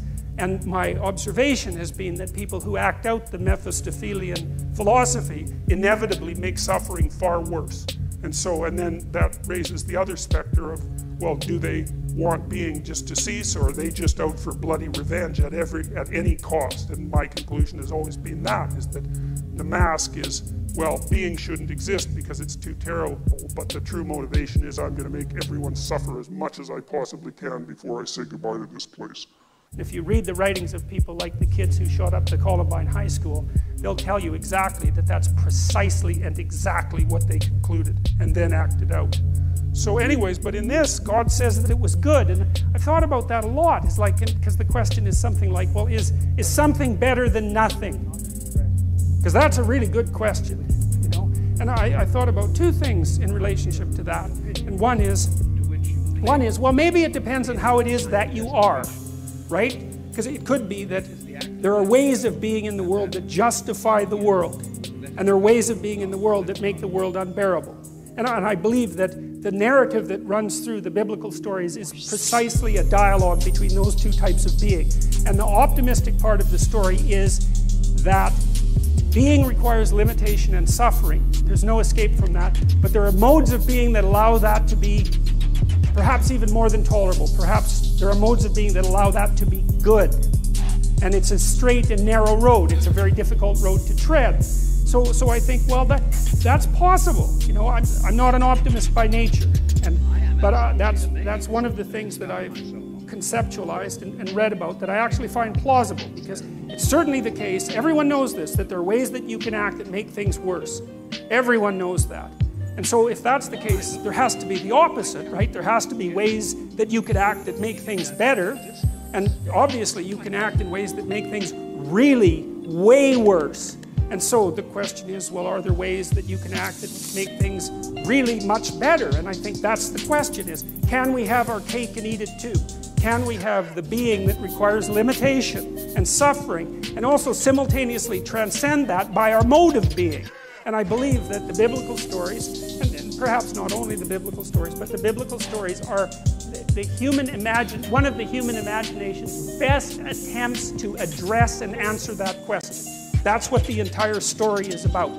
So the first of it is the catastrophe of the collapse of self-consciousness and the entrance of humanity into history. And the rest of it is, okay, now we're in history. Now we know that we're going to die. We know about our mortality. We're conscious of our own being. Is there a mode of acting in the world that allows that to be justifiable, or maybe even more, that allows that to be triumphant? And then I would also say, maybe it's worth finding out, you know? That, that's the other thing that's so interesting because you've got this short time on earth and there's lots of things that are very, very difficult to contend with. And, and you have the problem of tolerating yourself even in all your insufficiency. And one of the things that seems to me to be the case is that if you adopt a sufficiently profound mode of being, if you attempt to do that, then the mere act of lifting up that weight is enough to justify the fact that you're insufficient and mortal and, and, and, and bound by tragedy. And I believe that, and I believe people believe that because if you watch how people act, they look for people they admire. And they do admire people, right? It, it's a natural, it's a natural phenomenon. You see it starting with children. Children admire and then they imitate. And we look to people who seem to be able to bear the burden of being in a heroic manner. And there's something inside of us that calls to that and, it makes us want to, to mimic that and to follow it. And I think that that's a, I think that that's the deepest and most profound of instincts, and I think it's right. And even if you're not so convinced on the positive end, you know, because it's more difficult to be convinced of the positive, you can certainly be convinced on the negative end because there are ways of being that are so brutal and so reprehensible that merely to read about them is enough to traumatize you. And I think that if you're a person who hasn't lost their soul completely, you can't help but encounter stories like that and shudder away from them. And, you know, Alexander Solzhenitsyn, who, who was the person who did most to unmask the absolute horrors of communist totalitarianism, said that he believed that the Nuremberg judgments were the most important event of the 20th century. And that, that was the judgment at the end of World War II that there were certain actions that no one was to undertake, no matter what their cultural background was, because they were, let's say, crimes against humanity. That there was such a thing as universal evil. And you can debate that, you know, I mean, and, and, and, and people certainly have, but the problem is, is if you debate that, then you have to say that there are conditions under which the sorts of things that happen, say, in the concentration camps, which would be the gassing of children after their torture and, and their, their forcible removal from their parents and all the terrible things that went along with that, that that's just okay. It's just an opinion. It's just something that happened. And there are circumstances under which that's justifiable. If, if there's no transcendent good and evil underneath that argument, it's only a matter of practicality. And, and, and, it seems to me that that's that's not the right conclusion to draw. That's how it seems to me, and that's what Solzhenitsyn concluded when he looked at the Nuremberg trials. So, the notion that the notion that it was good, well, even if you don't believe that, and you know, because maybe it's not as good as it could be, I would say it's incumbent on you as someone who participates in the process of, of furthering creation to act as if it could be good at least and to further that with, with all of your efforts. Partly because what the hell else do you have to do that could possibly be better than that? That could possibly justify your existence more than that? And you know perfectly well, if, if, you, if you have any sense at all, if you think clearly about it at all, is that that's what you want to see in everyone else. You know, it's you're, you're desperate and maybe you're cynical and now and then someone appears that acts at least momentarily like a light in the darkness and that lifts your spirit up and gives you a little bit of hope and maybe helps you continue on. It's, well, that's obviously a call to being. It, it's, a, it's a statement from your own soul that says, well, there's something about that that's how you should be. And maybe then, well, get a chance to, to participate in what is good. I've thought too, you know, well, we'll leave that for a little later. And God said, Let the earth sprout vegetation, plants yielding seed, and fruit trees bearing fruit, in which is their seed, each according to its kind on the earth. And it was so. And the earth brought forth vegetation, plants yielding seed according to their own kind, and trees bearing fruit, in which is their seed, each according to its kind. And God saw that it was good. And there was evening and there was morning, the third day. I like that. That's. You see, it's, it's interesting these old pictures, eh? Because if you, if you look here, you got you got this halo around God's head, and you've got the split again between night and darkness, and God's right on the on the border between the two, and that's the sun, right? That's what a that's what a halo is.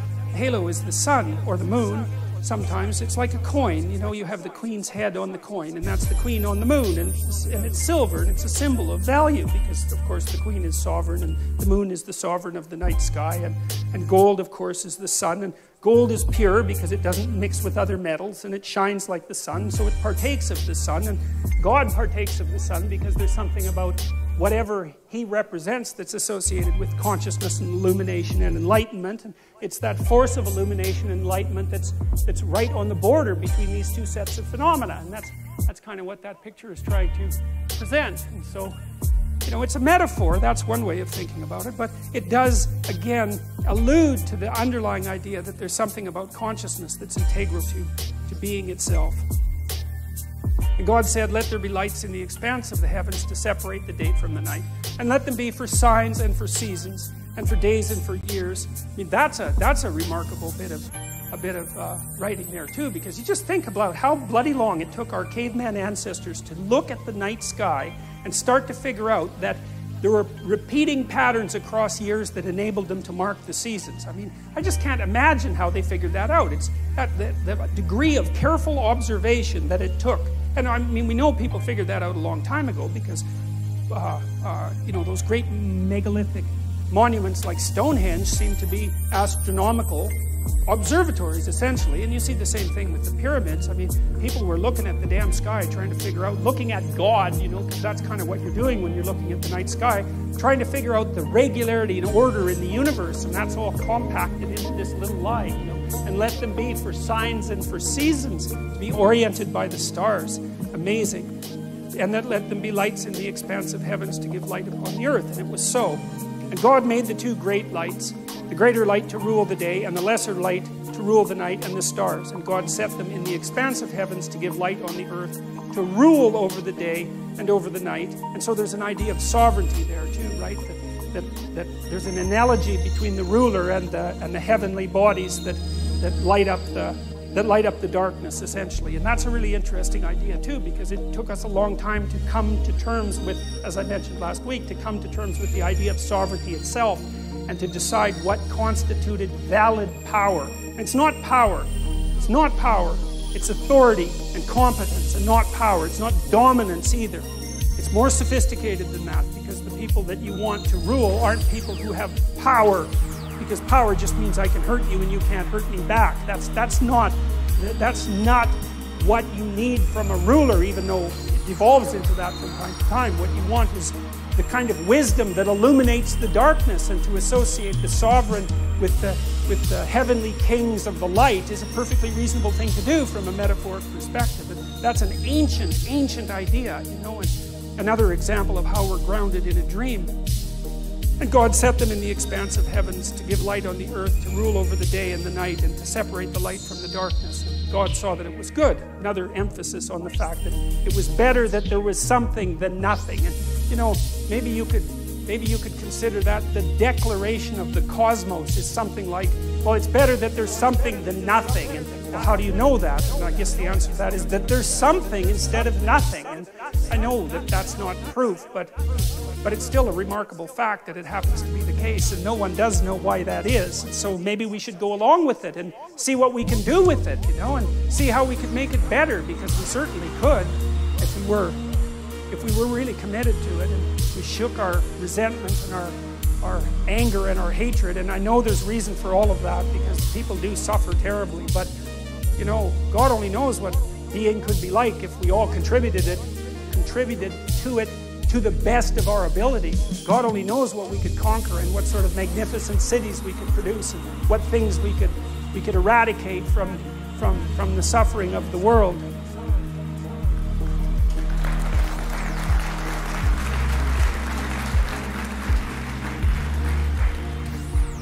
There was, you know, there's this guy I read about. This is this is amazing, and I don't remember his name, but he he found out about this worm that was called the guinea worm. And guinea worm is a really horrible thing, and you can look it up if you want, but I'll tell you a little bit about it, even though it's very distasteful. So, a guinea worm is a parasite that lives in Africa, and it burrows under your skin, and it's quite long. It's about that long, and it's you know about that wide, and so it'll burrow underneath your leg, and then it's in there, you know, and maybe it pokes its little head out a hole, which is one of its delightful tendencies, and then if you want to pull it out, it breaks, right? Because obviously, because otherwise you just pull it out and it would be dead. And so it doesn't like that, so it just breaks off. And many, many people had this horrible disease, you know, and it, it, it well, you, can, you can't imagine what that would be like because you're part of the 1% and you live in North America, and thank God for that. But, you know, just a little imagine, you don't even want to think about it, let alone have it. And he went to Africa and wiped the damn thing out. It's like, well, great, you know, it seems to me the planet's a lot better off without any guinea worms on it.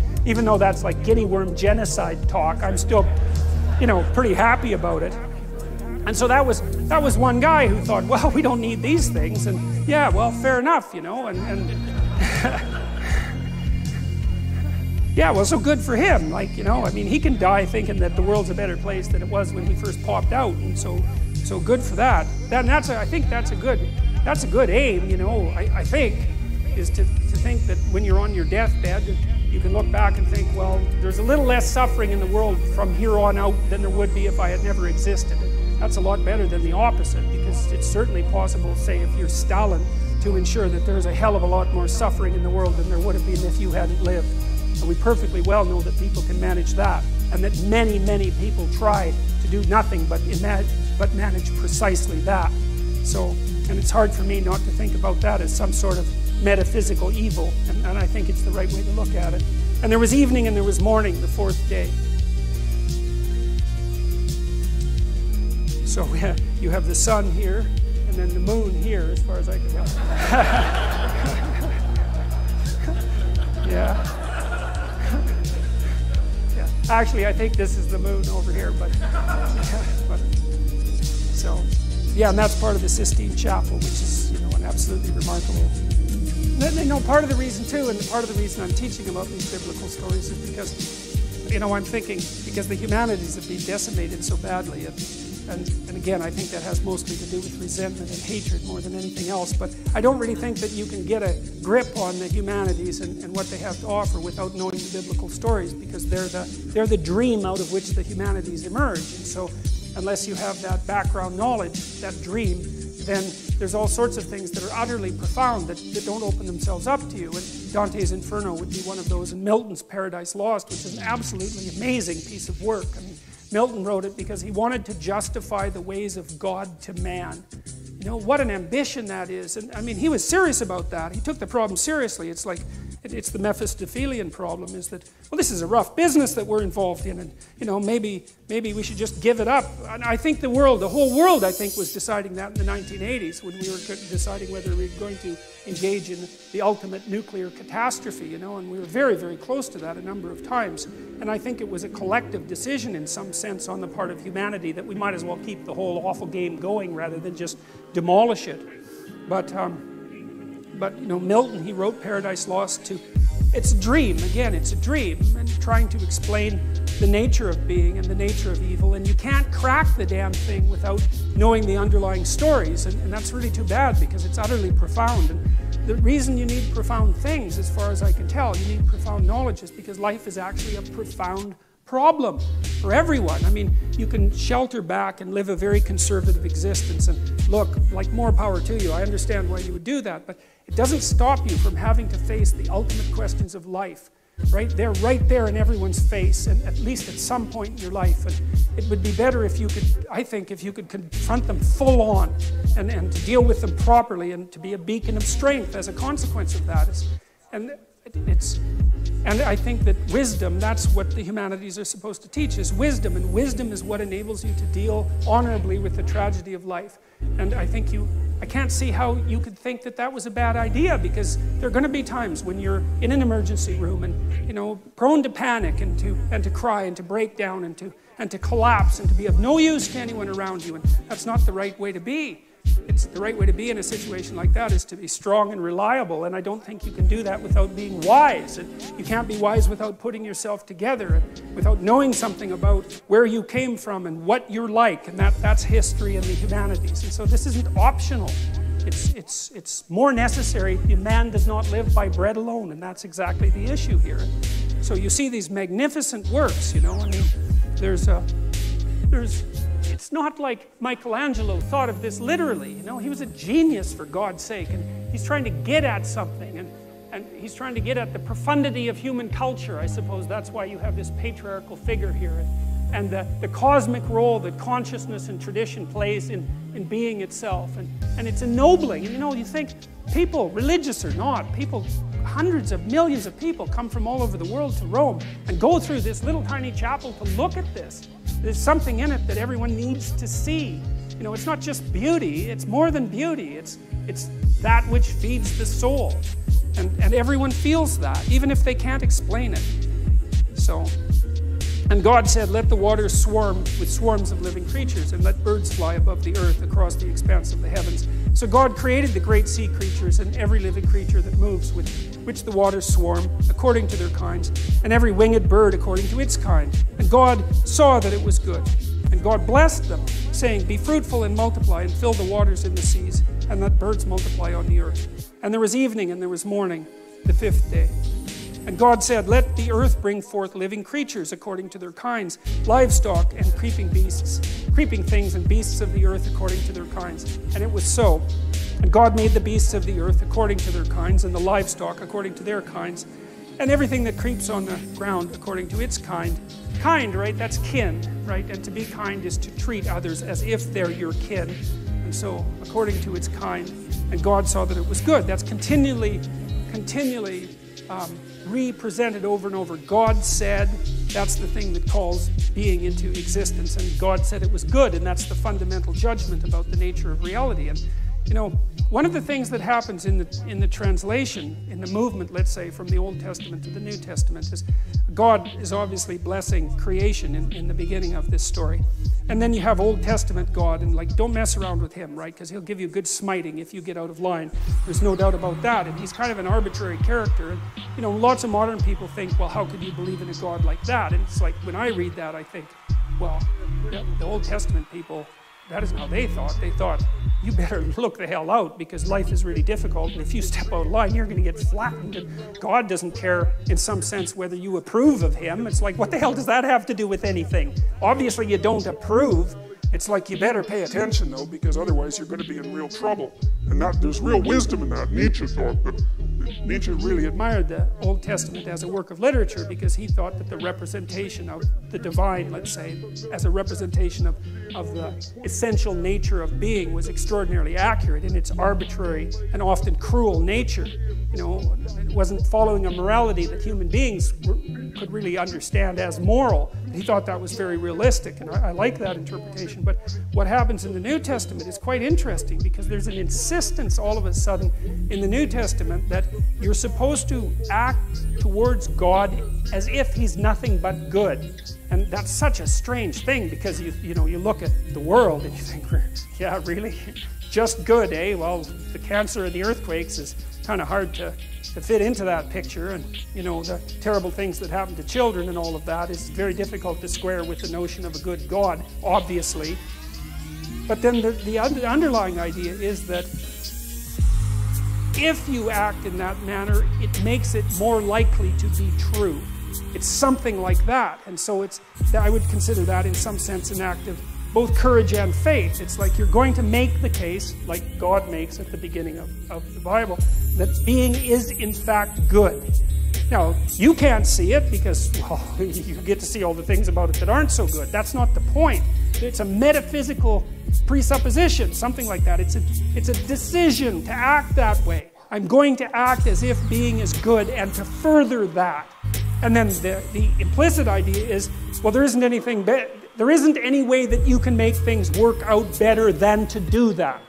And so there's a courageous element to it, which I think is also expressed to some degree in the idea of Christ's like voluntary sacrifice of his own life. His presupposition was something like, I'm going to act as if God is good, and I'm going to play that out right to the end.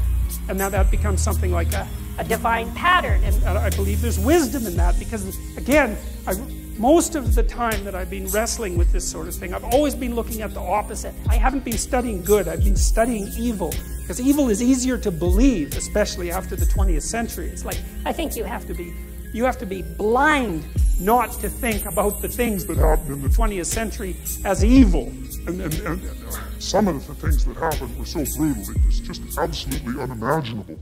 And, well, unless you imagine it.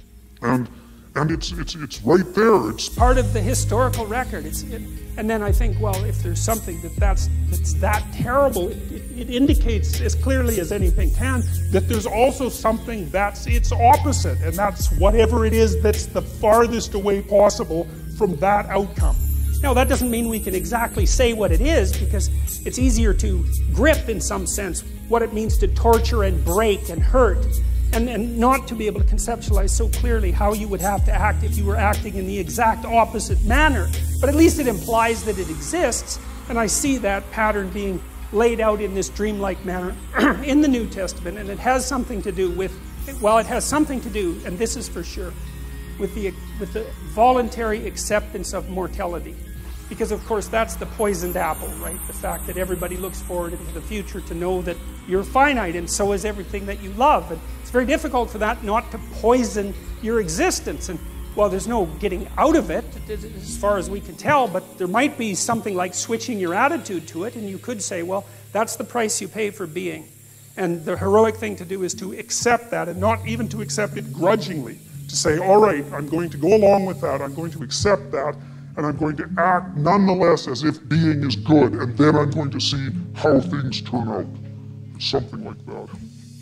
And God saw that it was good. And so it's an act of courage Right? There's, a, there's, a, there's an act of courage that's associated with that transformation of attitude. And even with regards to the notion that the world is good, it's a courageous attitude, especially given that there's so much evidence that makes that conclusion difficult to continually draw. But the alternative seems to me to be far worse. So there's God again with the sun behind him because he's associated with the solar consciousness he's creating all these strange, wonderful creatures. And, and, you know, it's a. And people say, well, you know, the idea of God as a, an old man in the sky, let's say, that's primitive. It's much more better to think about it as a. Much more better? Jesus. Anyways, it's more sophisticated to think uh, to think of the divine essence as a disembodied spirit or something like that. But you know, that's not so that's not so obvious either because as I already pointed out, there isn't anything that's more complicated than a human being. And, and so the idea that the divine is something that's at least as complicated as a human being strikes me as something that's actually quite reasonable. And, and I know it's a metaphor, although I don't know to what degree it is a metaphor, and it's also something that's embodied and I really, that's also a very interesting notion, you know, because it's become increasingly obvious as we've tried to do such things as produce artificial intelligence that it's very difficult to produce an intelligence or perhaps a consciousness that isn't embodied in some manner.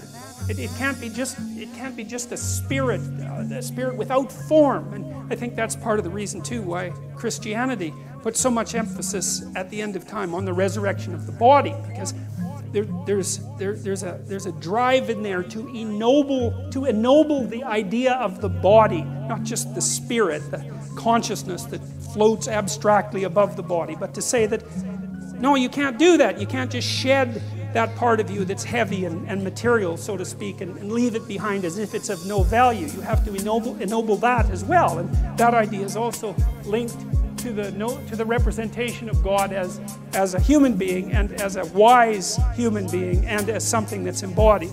And so, at least from the metaphorical perspective, I don't think it's reasonable just to, to brush your hands across it and say, well, that's, that's primitive. Because I don't think it is. I don't think it's primitive at all.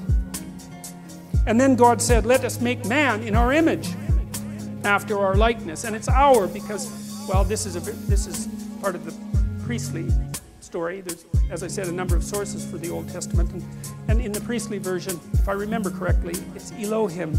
That may be wrong. It doesn't matter, but the, precisely it doesn't matter because the notion is, is that the, the God who's in the background of this story has a kind of plurality of being, right? And it looks like the idea of monotheism arose with great difficulty across time because there, there are lots of powers and the idea that there's a power of powers was something that it wasn't easy for people to figure out. You know, because what's what's constant across sources of power? Well, some kind of meta power, but it's hard to figure out what that is, and that's what's being represented by by the movement, as far as I can tell, from polytheism to monotheism. It's it's the first the observation that there are powers that determine the destiny of people, at least in part, that you're that you're subject to and then the idea that there's something common across all those powers that you can represent, partly, say, with the idea of the sun rising in the morning and fighting its way out of the darkness at night, and that that's associated with consciousness and sovereignty. Is very, very. See, one of the things that bothers me about simple minded atheism, and, and, I would say the simple minded atheism is of the sort that regards these stories as nothing but simple superstitions. It's very, very poorly informed because whatever these stories are, they are not merely simple superstitions. They weren't conjured up by some cabal of priests to bamboozle the masses, even though they were used for that purposes from time to time. It's, it's much, much more complicated than that. They have a very ancient lineage and they're tied together with all sorts of other stories. And there's, there's an, an emergent wisdom in them. And, and I think the right way to view them is as the birthplace of sophisticated philosophical ideas. And so you have to wrestle with these stories. You can't just and I said already that I'm going to be as rational as I possibly can in my discussion of these stories and, and, not refer to anything metaphysical except when that's absolutely necessary, even though I don't want to eliminate the possibility of a metaphysical reality because I think that's premature. But, but you have to take the stories seriously if you're going to if you're if you're going to if you're going to approach the problem properly. You can't just casually dismiss them. It's not appropriate. And so so let us make man in our image. That's a very interesting idea. And like I said, it's not easy to understand how it was that human beings came up with the idea that us lowly creatures were. So, with the Mesopotamians, for example, and the Greeks were like this too. Human beings weren't godlike, they were the playthings of the gods. Right? They were they were just the gods just tortured us for their amusement, you know, love and hatred and anger and all those powerful forces. We were just we were just playthings to the gods. There wasn't anything particularly divine about us. The notion that, that, in some sense we partake of the divine is that's a staggering idea. And you don't want to under, underestimate the difficulty that there was in abstracting that or the utility of that idea for our current mode of being.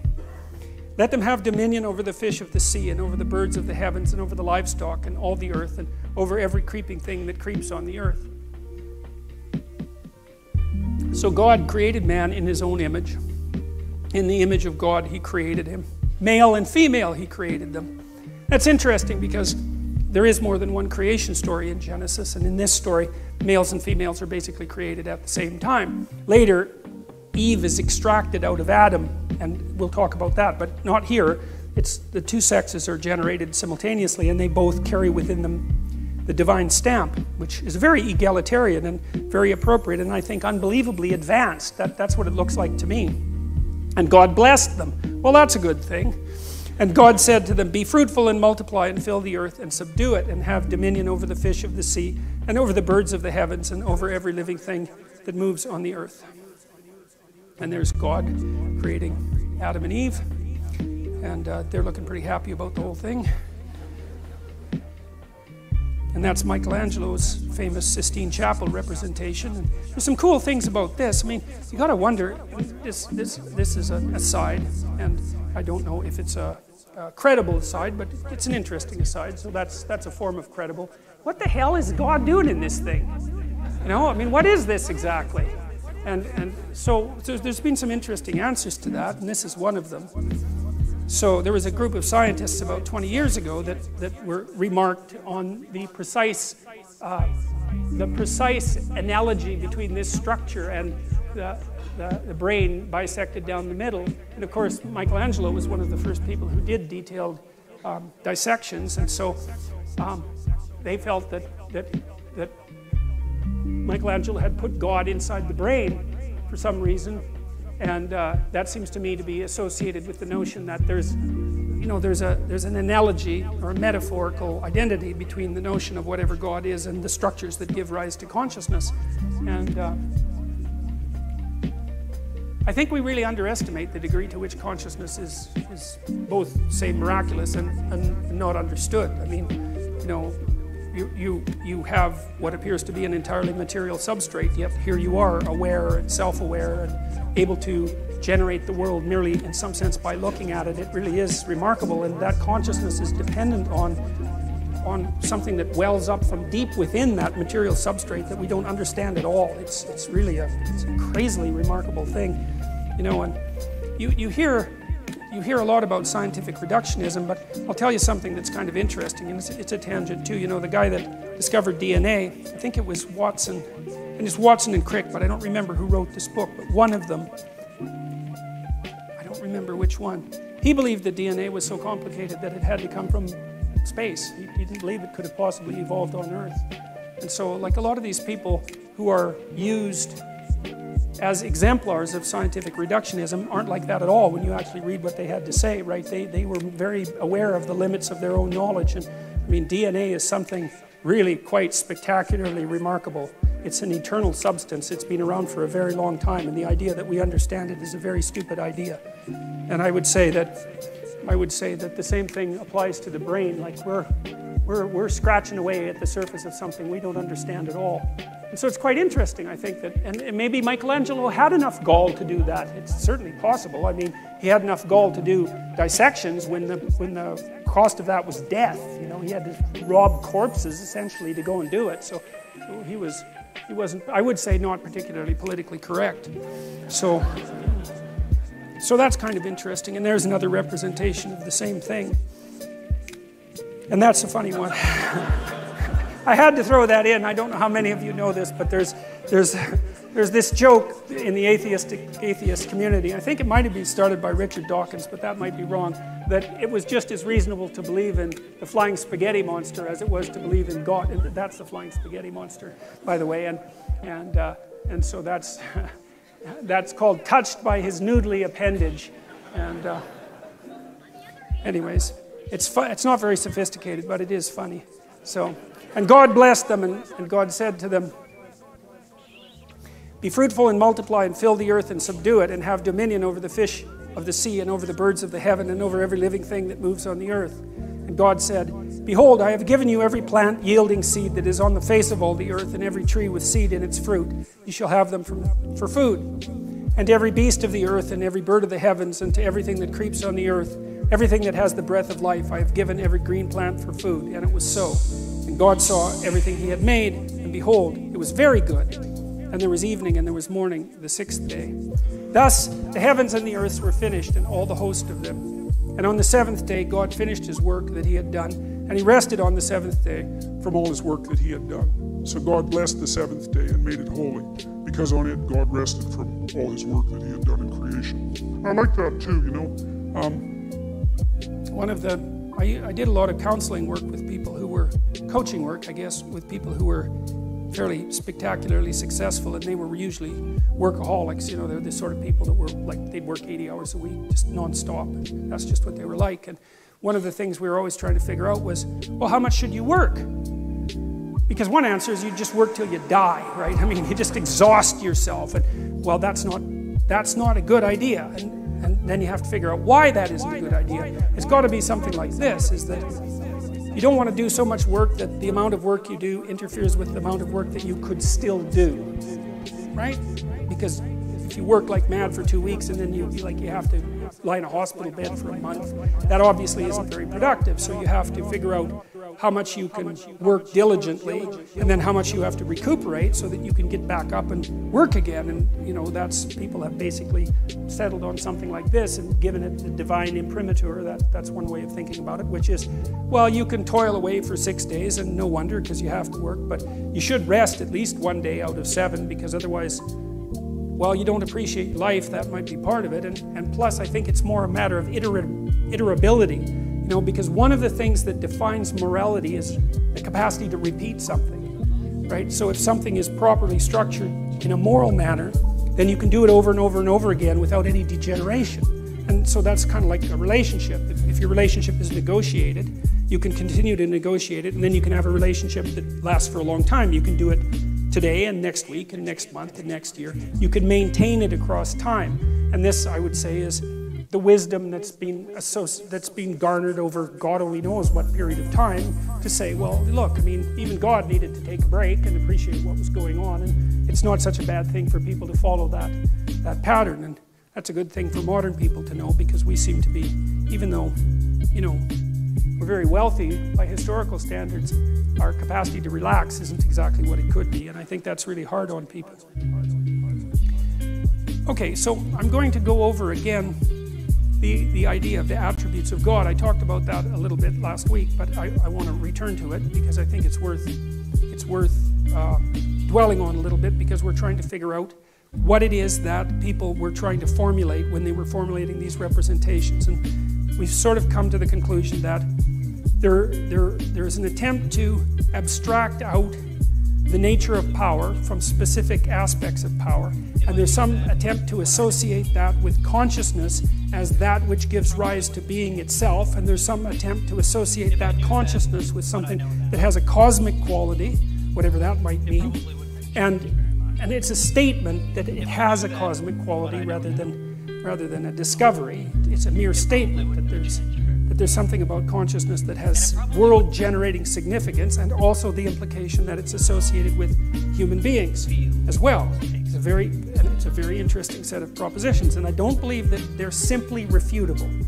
Like it, it's a perfectly coherent argument, even though it's primarily made metaphorically. And so then, once again, I want to build up the the framework of associations around the idea of God. One of the things that Freud did when he was interpreting dreams, and it's quite useful, you know. So if someone comes to me with a dream, then I have them tell me the whole dream, and then I get them to repeat it line by line, and then whenever they say a line and, and it, there's an object in it or a person or something like that, I ask them what that makes them remember or what that thing means to them or what comes to mind. And that's the associational technique. And it's predicated on the idea that your memory works by association.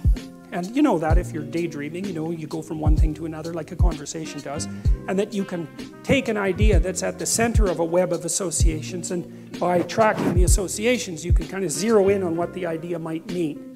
And then Jung expanded that by trying to, he called it to amplify the dream by thinking about, about narrative or literary or mythological similarities that, that might be associated with the narrative structure of the dream. And, and I think often that can be unbelievably useful, you know. And it's like the dream is an idea that's trying to come to birth. It's, it's partly formulated, and then if you discuss it and amplify it, it's like you can speed along its transformation into a more articulated idea. And the dream is also something that, because your brain, your mind is trying to, with, with one foot in the unknown, it's trying to formulate what's out there in the unknown and to make it concrete. But, but it doesn't do that in one fell swoop. It doesn't just take potential and turn it into to articulated ideas. It has to dream up what's out there first, projects its imagination out there to get a handle on what it might be. And then that's presented in the dream. And if you analyze the dream, you can make it more articulate. And so that's what we're going to do with the attributes of God to, to build up the representational structure a little bit. So so the hypothesis is that God is an abstracted ideal, formulated in large part to dissociate the ideal from any particular incarnation or man or ruler.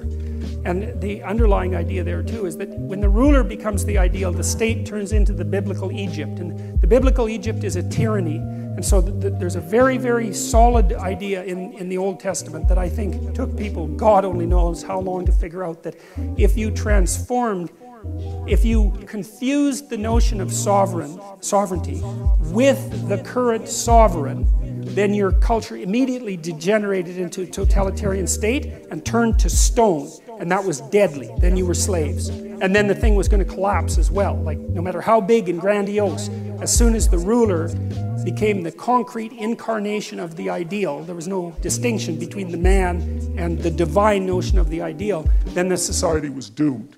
And I think that that's a less, I think that's well, I, I, think that's true. It's, it's, as simple as that. And, and, and, I think we saw more than enough evidence of that in the 20th century, and we're certainly seeing the same thing repeating itself now. When the ruler becomes the ideal, the state turns into the biblical Egypt, and the biblical Egypt is the archetypal tyranny. So, what is God like? Well, from the Christian perspective, there's three elements. One is, seems to have something to do with tradition. And so that's God the Father. And that's partly the embodiment, I would say, of, of the human being. And that's an ancient, ancient thing. And it's also partly the embodiment of the tradition of human beings, which is also a very ancient thing. And, and that's the structure, as I said. It's the structure that consciousness emerges from that enables us to grapple with the unknown as such. And then there's there's the, the intermediary between that and, and Christ, say that's the Holy Spirit, that's that bird. And that's, that's the spirit in a more abstracted sense. And I, I would say that's probably as close as Christianity ever got to the notion of consciousness as such. You know, disembodied consciousness, something like that. And then there's the notion of the suffering individual. And, and that's, that's a very complicated idea. And it's something like, in order for, so there's this idea, an old idea, and I believe this was originally a Jewish idea, that a, something with the attributes of God, omniscience, omnipresence, and omnipotence, lacks something. so it's like a Zen koan. It's a really interesting idea because you think, well, what, what in the world can something like that lack? And the idea is limitation. So something that's everything lacks limitation. And that's that, that idea, like when I first encountered that, just blew me away. I thought it was such a such a brilliant, brilliant realization that there are advantages to not being able to do things. Because partly because it gives you something to do, I suppose that's that's a big part of it, right? If you if you had everything you wanted at, at every moment at, at your fingertips, well that, that's there's there's nothing, there's no story. And it's funny, you know, because that happened to Superman, you know, the, the cartoon character. By the 1980s, he could juggle planets and you could bounce like hydrogen bombs off him and it'd be fine. And it's like everyone got bored because, well, what were you going to do to Superman? It's like you lob a hydrogen bomb at him and he just brushes it off and like combs his hair and that's the end of that. And the whole cartoon series basically died because he didn't have any flaws. There's no story without the limitation. I think that's an absolutely remarkable idea. And so part of the notion of Christ, this is something that I've puzzled over for a long time, and I learned a lot of this from Jung, is that there's idea in Christianity that there's consciousness as such, which, which in some sense is eternal. It stretches from the beginning of the time to the end of time, but it's this abstracted notion. But it lacks a certain kind of reality because it's not instantiated somewhere. Not, it's not instantiated in a specific time and place in history. And so the, the idea of the The, third part of the Trinity, or one of the three parts of the Trinity, is the notion that tradition and consciousness as such also has to be embedded in history in a particular time and place. And so there's the archetypal embeddedness, and that would be the incarnation, and that's the perfect man, right, who accepts his mortality and acts in a virtuous manner. But it's an, it's it's it's a it's the archetypal story of every individual as well. And you know, there's a very strong strain in Christianity.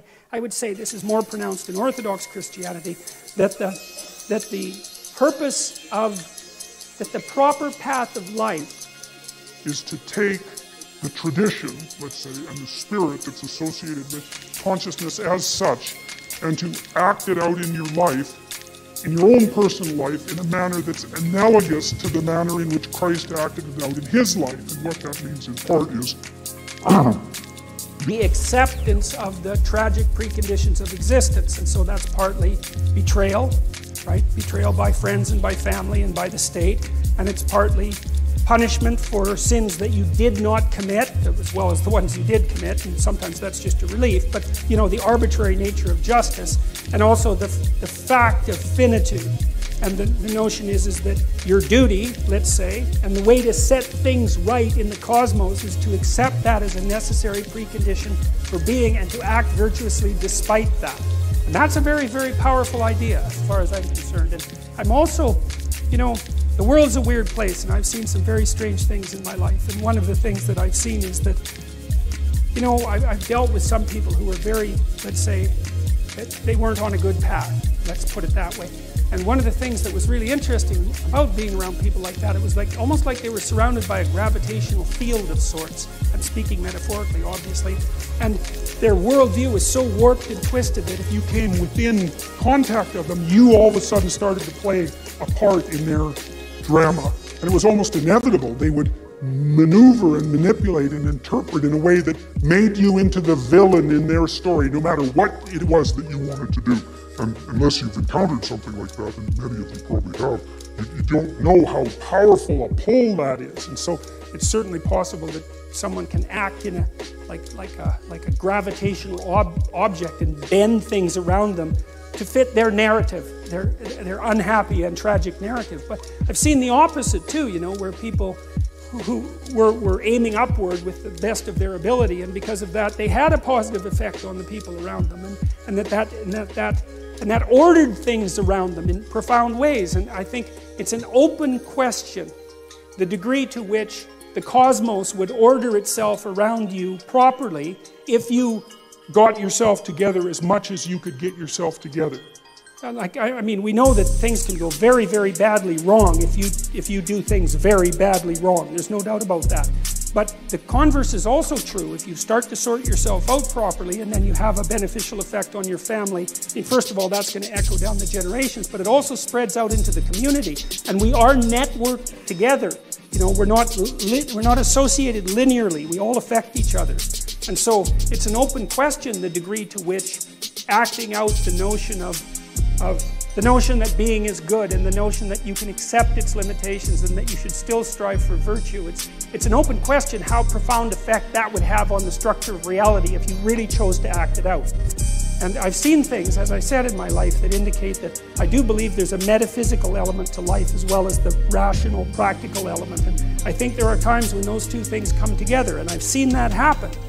And so I don't think we know the limits of virtue. I don't think we know what true virtue could bring about if we, if we aimed at it carefully and practically. And so the notion that there's something divine about the individual who accepts the conditions of existence and still strives for the good, uh, I think that that's an idea that's very much worth paying attention to. And I think the fact that people have considered that idea for at least 2,000 years quite seriously is also an indication that there's, there's at least something to be thought about with in relationship to that. So that's kind of the Trinitarian idea.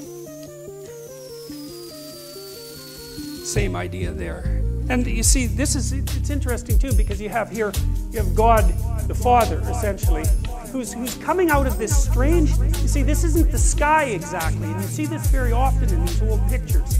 It's not exactly the sky, whatever the heaven was that, that, that, that, people believed in. It's something that's, it's like the sky opens and there's a dimension beyond the sky. It's something like that. And I wanted to show you this too, just to show you that this isn't only a Western conception.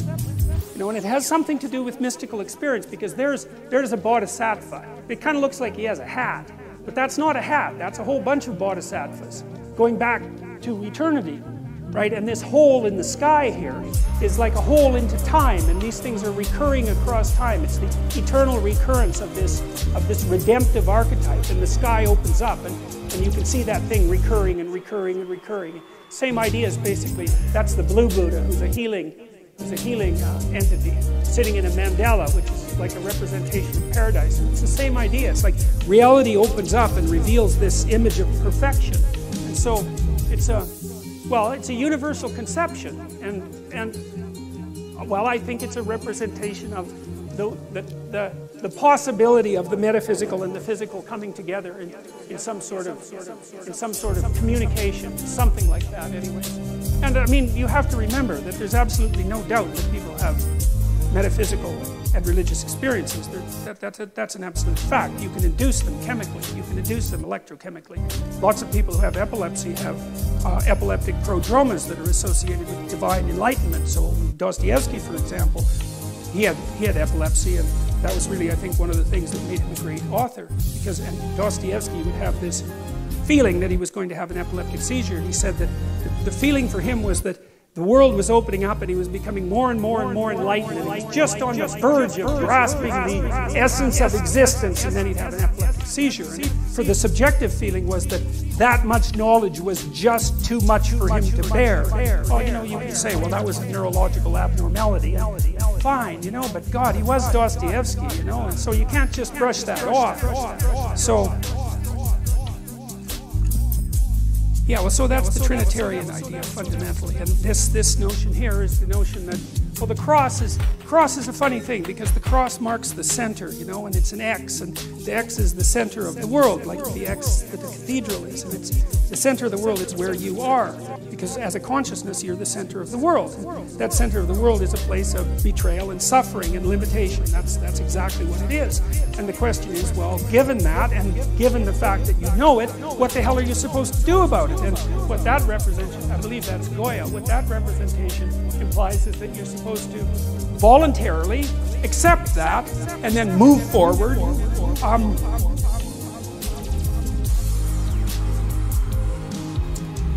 well, in good faith and with courage, that's the notion, and that you're supported. You're supported by your tradition, and that's why you need your tradition too. That's why you need to be embedded in your tradition, because without that, without the support, let's say, of your father, and I mean that both practically and metaphysically. Without that behind you, without the knowledge of you as a, both a biological and a cultural creature, without that depth of knowledge, you can't. Have, you don't have the courage to do it because you don't know what you are, what you could be. And so without that, because you're a historical creature, you know what? Students ask me sometimes, why study history? It's like, well, because History is about you. That's why. It's like history tells you who you are. You can't tell who you are because you only live a little while. How the hell can you figure out who you are? So you need all this collected wisdom and all this dream like information and all this mythology and all this narrative to inform you about what you are beyond what you see of yourself. And you know, you're pummeled down and people picked on you and there's 50 things about you that are horrible and you know, you've got a self-esteem problem, you're sort of hunched over and you've got all these problems, you know, and so it's not easy to see, let's say, the divinity that lurks behind that and unless you're aware of the heroic stories of the past and the metaphysics of consciousness, let's say, I don't think that you can have the courage to regard yourself as the sort of creature that can stand up underneath that intense existential burden and move forward in, in courage and grace. And of course, that's part of the reason that I'm talking about these biblical stories. And it's 9:30, so we're going to have to stop.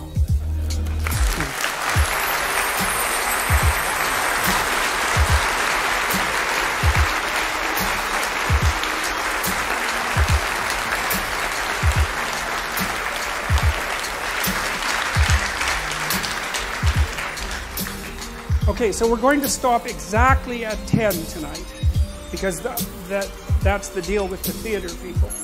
And so, and besides, I'll be out of anything intelligent to say by that point, certainly. So, well, at least we got through one story, so that was good. So, yeah.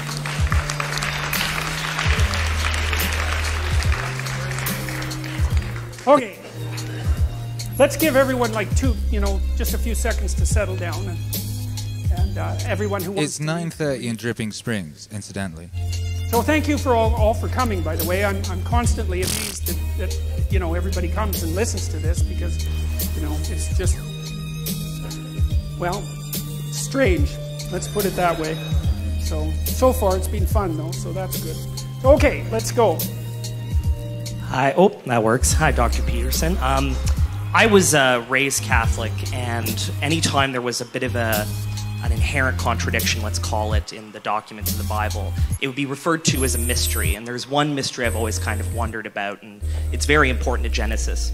How do you how do you deal with a perfect God or the conception of a perfect God who by nature is incapable of an imperfect design? Sorry, incapable of a perfect design.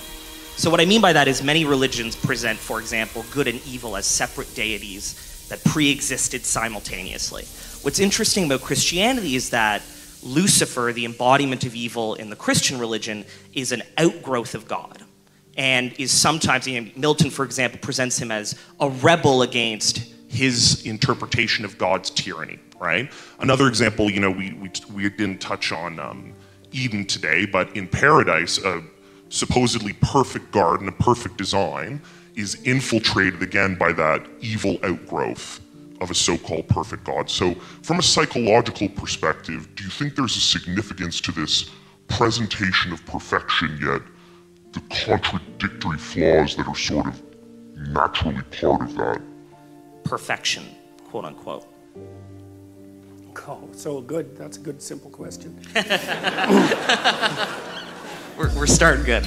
See, Jung, Carl Jung, he was kind of Manichaean in his approach, and he, he, he tended towards thinking that evil, in some sense, was a separate entity. You know, and I thought about that for a long time because there, there's a potency about evil that just can't be brushed away. And, and I mean, I mean this most practically, as, as I've said, like in, for people in my clinical practice, I've, I've dealt with many people who are touched by malevolence, and there's no other way of, of, of stating it properly. And this happens a lot to people who have post-traumatic stress disorder. Like they encountered someone that wanted to hurt them for the sake of hurting them. You know, it wasn't some misunderstanding. You can forget about that. It wasn't that at all.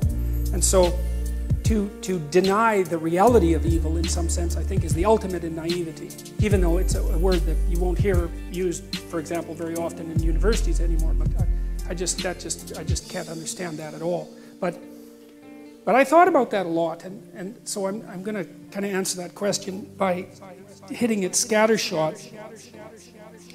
The first thing is, is that there, there's an idea, and this happens in Milton, this that comes across in Milton, that distance from God is hell. Right? That, that hell doesn't actually have any, I mean, no, it's ambivalent in Milton, but, but the fundamental claim seems to be that the farther you get from God, the more it's hell. And then there's another idea that Milton, Satan, who's Lucifer, the bringer of light, right? He's God's highest angel, gone most wrong. And I kind of think about him as the spirit of rationality, of intelligence. It's not because I'm not an admirer of intelligence, because hooray for intelligence, but one of the things that, that Milton seemed to cotton on to before the rise of modern totalitarian states was that intellect has the capacity to fall in love with its own creations and to elevate them to the highest place, which is basically a totalitarian claim. It's like, what I know is everything that needs to be known, and if it was only manifest in the world, the world would become a utopia. And I also think that's, we'll talk about this next week, I also think that that's the core idea behind the Tower of Babel. Remember, the Tower of Babel is raised by human beings so that the pinnacle will hit heaven. And so it's the idea that we can build a structure that makes the transcendent unnecessary. And so, okay, so there's those two things. Then there's, there's an idea of free will that's associated with it too. And it seems to me that in order for there to be good, there has to be evil. And so it, it, I think the answer is something like this, is that in order for there to be being, there has to be limitation. In order for there good to be good, there has to be the possibility of evil. I think the right path is to exist such that the possibility of evil remains open, but that you choose the good. And I don't think that evil per se is built into the structure of the world. I do think that that's human. I think that evil is human. And I think it's understandable. I did a lecture that's online about the distinction between evil and tragedy. And tra- tragedy seems to be built into the structure of the world, and perhaps you can blame God for that. I mean, it doesn't seem to me that it's your fault that there are earthquakes, for example. But but it is ob- not obvious to me either that it's tragedy that takes the spirit out of people. I think that human beings are actually equipped to deal with tragedy, but we're not equipped to deal with malevolence. That destroys people. And so I think that I think that metaphysically speaking, the world is structured so that people have a choice between good and evil. And that so then the next question is why do we have a choice? And that that's where my knowledge runs out. I don't, I don't, like the, the alchemists, for example, speculated that, and, and the Orthodox Christians also follow this line of reasoning, is that human beings, in some sense, are furthering creation by our actions and by our choices. And, and I think there's something to that. It, it's like it's like creation is unfinished in some sense, and that we're participating in, in moving it in whatever direction it is that we want to move it. And part of that is that we have free will, and part of that is that we have the choice between good and evil. And that's also all associated with, with the significance, maybe the cosmic significance of our lives. And I, I, that strikes me as plausible. And, and I think that the weight of responsibility that people feel existentially is an indication of that. So that's about the best I could do with that. So. And it seems the way you're describing it, it's built into at least the text that you presented, because one of the other things I'd noticed was God consistently describes creation as good, right? Mm-hmm. He creates light, it's good. He creates dark, it's good. Oh, okay. After he creates things, he announces that he creates man and woman and announces that they have dominion yeah. over those things and can use them. Yes. And it might be something lost to translation, but that is described as very good yes. as soon as that dominion is brought into existence. Yes, right, exactly. It might speak to that notion of furthering yes, creation. Well, and, and here's something interesting too, and we'll develop this a lot, is that, you see, when Adam and Eve eat the fruit, the snake gives them the fruit, the first thing that happens is their eyes are opened. Okay, and to me that means that, well, they've woken up. Right? It, they, there's been an increment in their consciousness. And the next thing that happens is that they recognize that they're naked. Okay, and to recognize that you're naked is to recognize that you're vulnerable. And human beings are strange creatures because most animals are like this. And they're protected, but not us. Like our most vulnerable parts are displayed for harm and for everyone to observe, right? So we've got that sort of bipedal self-consciousness built into us. But what's really interesting is that when Adam and Eve realize that they're naked, it's the same moment that they know the difference between good and evil. And that, uh, God, that just, that just, I just ground away on that for years. Trust what the hell, what's going on here? What's the relationship between consciousness, knowledge of nakedness, and the knowledge of good and evil? And then I think I think I figured it out. I think I think it was that you see, when you know that you're vulnerable, and, and they also develop knowledge of death, right? So there's deep knowledge of vulnerability, and they get embarrassed about that. They cover themselves up, right? So that's culture. So it's a very profound shock for them to recognize that they're naked. It even makes Adam hide from God. And then they develop the knowledge of good and evil. Well, I think it's because you see, human beings have this peculiar capacity that no other creature has, which is I know how I can be hurt because I'm aware of my own limitations, painfully aware. And now, because I know how I can be hurt, I know how you can be hurt. And I can take advantage of that. And that's, I think, how evil enters the world. That's what it looks like to me. It's like I've got this expansion of knowledge. It says in Genesis that that, that, that gives people another attribute of divinity, knowing the difference between good and evil. It, it has nothing to do with animals, and it has nothing to do with Adam and Eve prior to having their eyes open. But the, the cosmos switches when that self consciousness manifests itself. And that's when the possibility of evil enters the world. It's something like that. And that's also echoed by the intimate relationship between the snake in the Garden of Eden and Satan, which is we're going to because that's a what that's a very strange association. It's like this snake also becomes the adversary of being, and I think that's I'll, I'll jump very quickly into that, but I think that's because you know there's the snake that bites you in the jungle, and then there's the snake that lives in your enemy, and then there's the snake that lives in your family if you've if you've banished the enemy to the netherlands. And then there's the snake that lives in you if you remove yourself from your family. And that snake that's in you, right? That's that's a that's a psychological phenomena. That's equivalent to transcendent evil itself, the thing that inhabits every single person. That's why there's that association between the snake and Satan. And that's why I think that people have this it's, it's associated with our knowledge of vulnerability that gives us this constant capacity for for evil. Can you imagine if you're a medieval torturer you know, I mean, people don't generally imagine that sort of thing, but, but, but people were medieval torturers, and they were very good at what they did. And the only way that you can be a torturer is to know what would hurt you, right? And so you exploit your own vulnerability, you exploit the knowledge of your own vulnerability to bring pain into the world. And I don't think that you can lay that precisely at God's feet. Now, people have been arguing about that for a very long time, but but my, my question, the question for me that arose from that is, all right, fine, like tragedy, you can lay that at God's feet. Well, if we didn't bring additional evil into the world, could we tolerate the tragedy of being without becoming corrupt? And I think generally the answer to that is yes, because I've seen people react quite heroically to the arbitrary burdens of their life. But malevolence, man, that, lay, that lays them low lays them low, and it seems to me to be nothing but a destructive force. And I do believe as well, and I think you see this in the Cain and Abel story, that the root of malevolence is the desire for revenge against God for, for creation itself. And I, I mean, I've read terrible things written by terrible people trying to get to the bottom of things, and I mentioned the Columbine killers, for example. And it's clear, all you have to do is go read what they wrote. What they were doing was taking revenge against God. They knew that.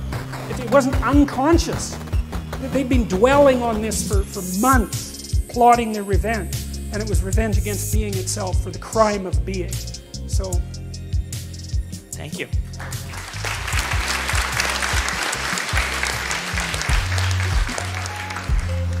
Hi, Doctor. You'd said the when God saw that it was good, you read that as potentially well, might be better than nothing. Uh, and the story in Genesis, it's bracketed by days, which aren't necessarily literal days, yom, the original word, you know, but it's also bracketed by, and he saw it was good, you know, at the end of the day. so my question is, is there something more profoundly happening there between this profundity of speaking into existence, the way, you know, the, the start is, to this observation, the seeing that it's good? And are we, is God modeling consciousness? Is there a little more there for us to to, to grapple with. Okay, so so more for us to grapple with in what way? In the sense that we have this amazing this insight of speaking things forth, but you'd also commented on consciousness as until something's observed or until so that, until it's seen. Um, so when God sees that that creation was good, is there there kind of this bracketing between bringing forth through the you know through the word through Jesus. Okay, okay, that's good. I see what you mean. Okay, well I think I think what that is is that I think okay, so it's perfectly reasonable from an archetypal and psychological perspective to consider the idea of the word equivalent to the spoken truth. I mean, Christ makes that claim in the New Testament that, that he's the truth, right? And embodied. And so then you can, logically, you can derive from that the idea that if things are spoken into being through truth, then they're good. And so, yeah, I think that that association exists. And I think that that's, well, I also think that that's, that's the, in some sense, the deepest claim of faith. I, I believe that because I think that, I think you have to make a decision in your life, as far as I can tell. And I think Kierkegaard knew this more clearly than anyone else I've ever read. And that is that if being is good, then an honest relationship with being also has to be good. And then if you have an honest relationship with being, then you're going to speak the truth. And then I think what you have to decide is that speaking, if you speak the truth, then what happens is good, regardless of what happens. And that, that's, the, that's the rub of faith, and I think that's something that Kierkegaard wrestled with, you know. And that, I mean, I'm trying to think if I can provide an example about, about that and, and easily and quickly. Well, I guess it's partly because it's partly because you can live your life two ways. You can you can you can use your language to manipulate. You can use your language as a tool to get what you want. But the problem with that is that that assumes that you know what you want and that you're right. And that's a problem because there's lots of things you don't know. And if you get what you want, you may find A, that you didn't really want it, and B, that you're not the person that started the journey towards that. That happens a lot to people, especially when they use their language in a manipulative way.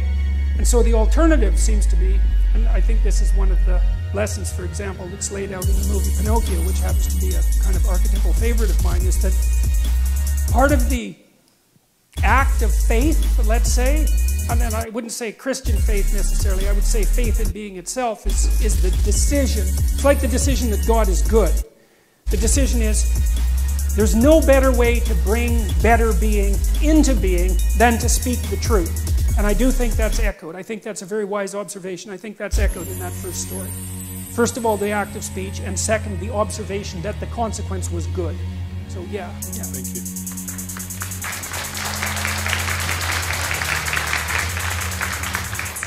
Good morning, Citizen Peterson. First, I have a bunch of questions, and I want to have them answered immediately. Like, you have a post on Quora in which you encourage all children to incur skateboarding injuries.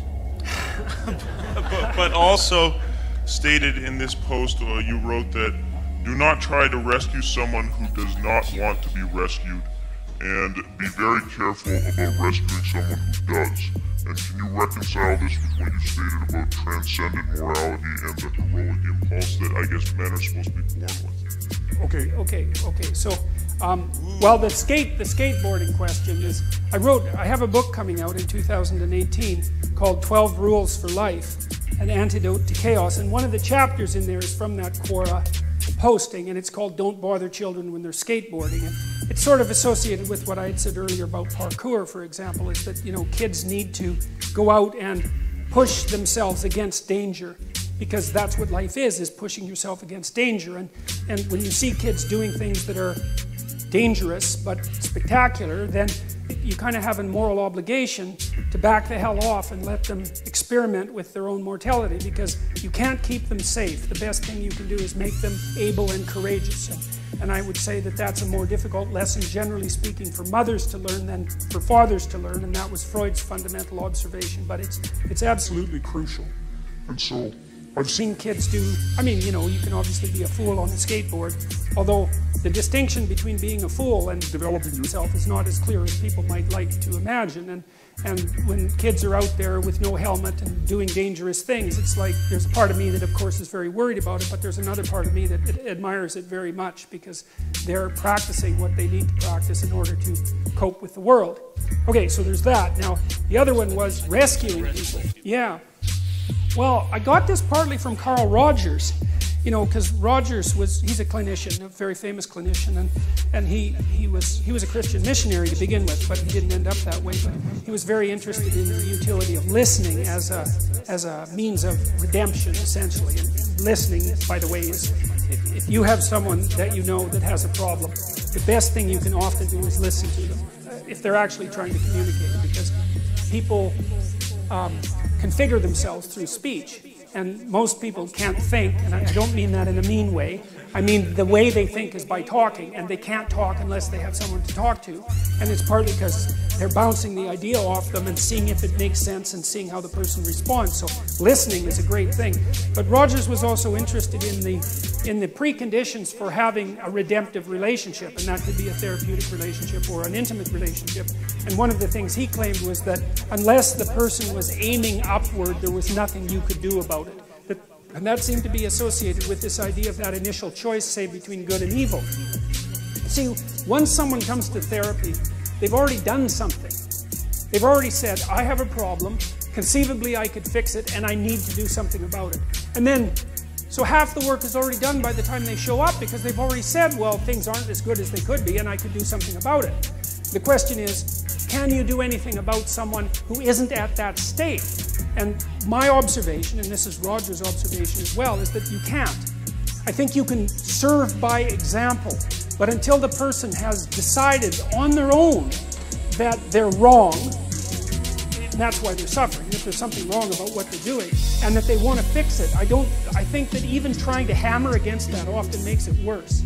So, and I know that Solzhenitsyn, when he was talking about the communist ideologues, the really hardcore communist ideologues that were eaten up by the Gulag archipelago system, you know, sort of devoured by their own, he saw the same thing, was that until they were willing to admit that something was wrong with the manner in which they had construed the world, that it had resulted in their own demise, that there was actually no way of communicating with them. They're in kind of an authoritarian bubble. So, so I, I don't think that. So even if you orient yourself as an archetypal hero, there's no way you can get through that uh, barrier. That well, I think up? that that's part of the issue of free will. I think that I do not think that people can learn unless they admit that they're wrong. There was this, there's this play, The Cocktail Hour by T.S. Eliot, and he has this woman in the play, and she comes up to a psychiatrist and she says, just in the course of casual conversation, she says, I really hope there's something wrong with me. And of course, the psychiatrist is a bit taken aback by that. He says, Well, why in the world would you hope such a thing? And, and she says something like, Well, like I'm suffering, man. Things are not good for me. I'm having a dreadful time of it. And as far as I can tell, there's only two possibilities.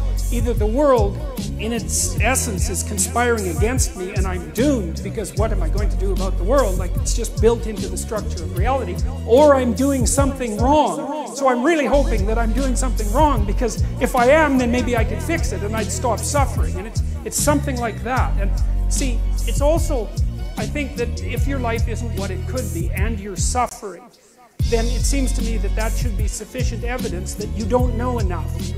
And with, if that isn't sufficient evidence that you don't know enough, then I don't know how anyone else could provide you with that evidence. And so I'm, I'm going to leave it at that. This is psychological rescue, not like rescuing who's drowning. For mm. Yes, you can rescue people when they're drowning, even if they don't want you. Perfect. I'll tell you something about that, though. Something interesting about that, and it's relevant, is that, you know, I don't know how many of you know how you rescue someone who's drowning. You do it like this, right? You come to them like this, and you push them away with your foot. If they're, I'm telling you, that's what you do if you're a lifeguard, because if they're panicking and they grab you, you both drown. And that's stupid, because then you both drown right? And so, and that's a really good way, that's a really good metaphor for trying to help someone too. It's like when people are in real trouble, you know, some of it's they're confused and some of it is that their life has collapsed around them and there's some malevolence there and there's some desire for vengeance. It's just like one dangerous mess. And if you're going to wade in there unprepared, the probability that they're going to take you down compared to you elevating them is very, very high. You know, because you don't even know what your damn psychological stability rests on. You might be saying just because you're lucky and surrounded by sane people, that doesn't mean that you have the psychological wherewithal to really pull someone up from the depths of the underworld, especially if they've also got one foot in hell. So you should bloody well be careful about doing that kind of thing. It's, it's hubristic to attempt it, and I would, you know, I would definitely caution people very carefully about trying to rescue someone who doesn't want to be rescued. It's, very dangerous activity, and it can easily be counterproductive. Okay, so about since 2006, I've been trying to figure out, like, extract the meta, the way you put it, of um, social justice warriors, and I think I found it. Actually, um, they seem to have this behavior where they just they nebulize every standard we have. So they take a standard you have that is full of criteria. They say what something is is how it is. Like that's a podium, but it has a criteria within it that make it. Oh, sorry. They take um, they, they do something called nebulization, where they take something, a what, and they dissolve the criteria such that there is no way to say how it is. So you see this now with gender, where someone will say they're a gender, but there's no way to get logically from how they can be that gender, like how you can be an attack helicopter, a male or a woman, or something like that. Um, but the thing that came from this, and I figured this out when I Found about you when I learned about you. is that nebulization appears to be the exact opposite process. Of um, individuation. Um, philosoph- it's the philosophical version of indivi- individuation that uh, rests on three premises or three core axioms, which is I exist, which is an axiom that exists and like in the objective that you you exist here, and then I am, which is a reiteration, a re- reincarnation of I exist. which is um, well, basically you have to say I'm right about having existed, or else it just falls apart. and then you have as, which is the question begged from that. Well, you exist, and You're right. As what?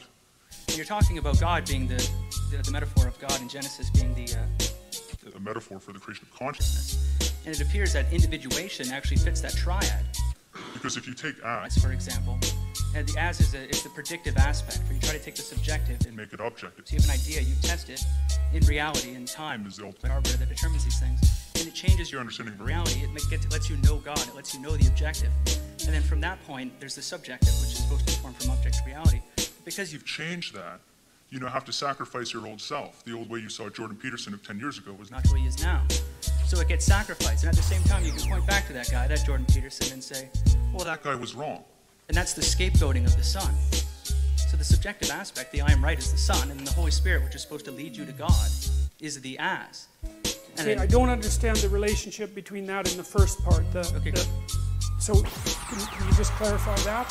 The, the, social justice aspect and the nebulization. Oh, the, the social justice is the exact opposite process of individuation. That's all it is. Um, And it actually occurs at as. If you're at as and you're thinking, well, what am I? you either apply individuation, you try to apply criteria, you try to find out what you are in reality, or you refuse that paradigm and say, well, look, I am, I'm always going to be right, I'm completely self righteous, and you stop at that subjective aspect where everything becomes subjective and you ultimately become relativistic and nihilistic. So I'm asking, have you considered that the, the Genesis tale and the, the, the creation myth and God is actually the, is, um, the process of individuation? And the Trinity is actually those three core premises, the three axioms that come from that. Okay, I haven't considered that. I mean, uh, uh, I know that Jung draw, drew a parallel between the idea of the passion, for, for example, and, and the development of human individuality. And so there's that, that idea was, is lurking inside the Jungian notion of individuation because it has to do with uh, voluntary confrontation with mortality and also with evil, right, as, as two of the key elements of genuine self realization. I haven't considered the metaphorical pathway that you just described, so I can't comment on that. I'd have to think about that. But I could say that one of the things that does disturb me about the ideological battle that's going on right now, and, and I think this is a very deep part of it, and, and this is the part that's a battle Against the logos. in, in, in Derrida's old terms, right? The phallogocentric West needs to be taken down to its essence, is the refusal to engage in precise language. Mm-hmm. And I see that in part, for example, manifested in the refusal of the people who I'm criticizing to ever engage me in any debate. They don't believe in debate, and they don't believe in the, in the, in the, let's say, the redemptive power of dialogue, because mostly what they believe in is power. So there's a nebulization in that manner. There's this tendency to hide behind what's vague and fog-like instead of making things sharp and clear and crystalline. And I do think that that's well, that's part of the degeneration of a civilization, as far as I'm concerned. So So you haven't considered that then? No. Would you please? I'll do my best. I'll do my best. Please.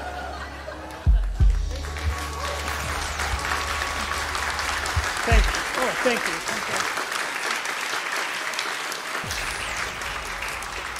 you. Okay. So one. This is it. One more question, and then I'll make it quick. Okay. Hi, Dr. Peterson. Um, my question is um, I know you stated in the last um, uh, lecture that the importance for setting aims in life Yeah. and um, uh, to kind of have goal, goals to uh, work towards, right? So, my question was. Um, where, where do you, how do you do that if you don't know where you want to go? Because that's kind of where I got stuck on your, your future auth- authoring program. Yeah, because yeah. Okay, that's that's a good question. That's a really good question. Um, I think it's echoed to some degree in, in the structure of the biblical stories, and in this manner. So there's this notion in the Old Testament that morality is following a sequence of prohibitions. There's a bunch of bad things you shouldn't do, and then basically you're good enough. And, and, and I think there's wisdom in that. I, I think that's kind of where children start, right? I mean, I love children. They're, they're, they're crazy little creatures, and they need to be, you know, civilized. And but partly what you do is you you lay prohibitions on them, and mostly what you're trying to do is lay prohibitions on them for the behaviors that, if they manifested, would make their life miserable. So I have another chapter in this book that I'm writing called "Don't Let Your Children Do Anything That Makes You Dislike Them." And the idea there is that your your job as a parent is to help your children become the sort of four-year-olds that adults genuinely smile at when they come into a room because that makes the entire social environment both truthful and welcoming. And so your job is to make them desirable social beings, and a lot of that is prohibition. Okay, and there's this ethical transformation.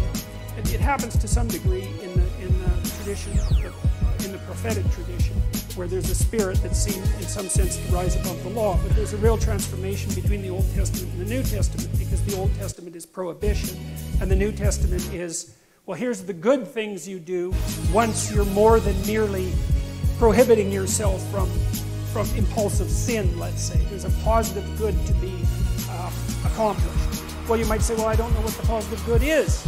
Fair enough, man. So, so this is why this thing that I said that people have become this crazy internet meme, but that's to clean up your room. And which, which is a lot better and more useful than people think. It's a lot harder too. But the, the thing, the first thing you do, I think, and I learned this in part from Solzhenitsyn when he was trying to iron out his soul when he was in the Gulag because he was trying to figure out how he got there, how he contributed to how he got there. You know, not Stalin and Hitler, even though they were kind of the blame. You know, but there wasn't much he could do about that. I think what you have to do, and, and this is part of humility, is you have to look around you within your sphere of influence, like the direct sphere of influence, and fix the things that announce themselves as in need of repair. And those are often small things, you know, and, and they can be like your room. Put it in order, because the thing is, it isn't exactly so important that your room is in order, although it is. What's important is that you learn how to distinguish between chaos and order and to be able to act in a manner that produces order. And in most households, there's a hundred things that could be done to just make it less hideous and horrible. And so practicing that is it's a real useful form of meditation and it's also it's also I think it's a divine act because you're taking chaos. And you know, if you pay attention even to a room, it's so interesting. And I learned because I've, I've renovated many places now and tried to make them beautiful. And one of the things that I've really learned is that even if you own a structure, unless you've investigated all the nooks and crannies and cleaned them up and, and, and put your own imprint on them and made them yours, they're not yours. The mere fact of physical ownership doesn't make them yours. You have to establish a dynamic relationship with the objects before they're actually yours. And I think you can you can do something as simple as just sit on your bed and think, okay, there's probably like five things I could do today so that tomorrow morning is slightly better than this morning was. At least, or at least I'm not falling behind. And those will usually be, it's like having to eat a toad in the morning. Right? It's like, it's not going to be something you want to do. There'll be things you're trying to avoid. They're snakes, essentially. But if you ask yourself, like you're asking someone, which I think is a form of prayer, if you ask yourself instead of telling yourself, you know, what is it that I could do to set things more right today that I would actually do? It's usually some small thing because you're not that disciplined, you know. Then you can go do it. And then you, you put the world together a little more when you do that. And that spreads out. But you also put your you also construct yourself into something that's better able to call order forth from chaos. And that makes you just incrementally stronger. And then the next day, you can maybe take on a slightly larger task. And like you get the benefit of compound interest if you do that. It's a tremendously powerful technique. And I think if you do that, at some point, instead of just having to fix things up that are not good, you'll start to get a glimmer of the positive things that you could do.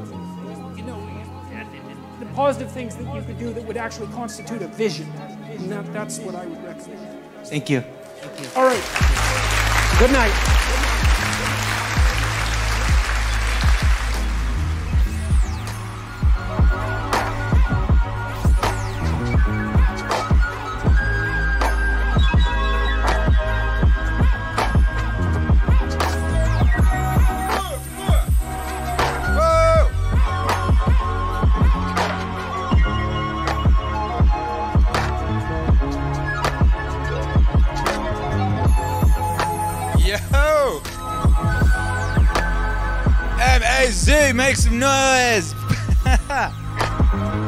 Yeah. Wow, how about that, huh? How about that, About How you feeling? Yo, I've got to reconstruct my, my ability to converse. I almost forgot how to speak there. Yo!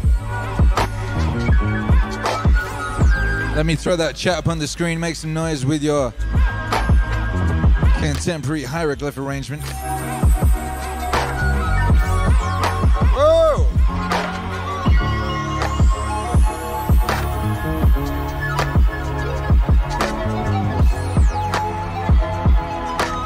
Yo, how was that for you? that was intense for me. By Joe. Woo!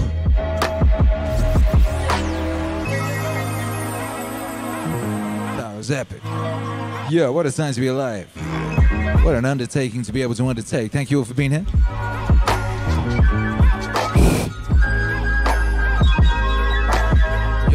Asking questions at the end spoke so fast. That was crazy. That guy was like, uh, what's his name? You know that white kid rap fast video? What's that kid's name? You know the one I'm talking about. Woof. Uh, shouts out to everybody locked in. What's up, Word XP says thank you for this and all uh, the overtime. Akira, God bless. Man, they're talking about taking Sundays off. I was like, sheesh, I ain't taking no day off. I haven't taken a single day off since March. I've been here every day since March, but does it really work when it's uh, when it's so very, very meaningful, you know? I'll, I'll have to ask the doctor about it next time I speak with him, you know? Uh, thank you to everyone who supported during that, by the way. Thank you, Biological Bootloader, and uh, Go- Goku Lakanen uh. What a beautiful name that is. I'm sure I just destroyed it. Uh, it looks gorgeous. What up, Sweetie Turner? God bless you. God bless you, Moose. Pixie, God bless. Mason, God bless. God bless Orsivian. Our favorite Orsivian, meaning crisis and chill. And now this, what a time to be alive. Thank you, Akira. I appreciate you. Appreciate you, Orsivian. Uh, bless up Paul. Bless up Raymond. Bless up Joe. Bless up Moran Alec. Uh, by the way, uh, it ain't quite over yet. We're about to preview a. We're about to premiere a brand new song from the album that's uh, about to come out, which is called Aesthetic. JBP Wave Aesthetic. Word XP. As I hope Akira wears Spartan armor for Meaning Stream 300. Oh, bloody hell, isn't it? It's Meaning Stream number 300 on Saturday, isn't it? Oh, shoot. It's time to party. Let's party. Come on, everybody, let's doobie doobie. Yeah. Savage Joe says something deep down in me resonated with some of this. I'm gonna re-listen to this and find that gold again. Yo, it ain't it, it ain't a JBP uh, talking event if I don't uh, have to stop myself from leaking water at some point. There was a couple of those moments. I don't know if you all caught that. I don't know if it hit you the same way. There was a couple of moments where I got whooped outside, uh, whooped upside the back of the uh, the liquid distribution in the eye hole area. You know that thing? Nearly drop a single manly tear. That kind of thing. You know that thing? Yo.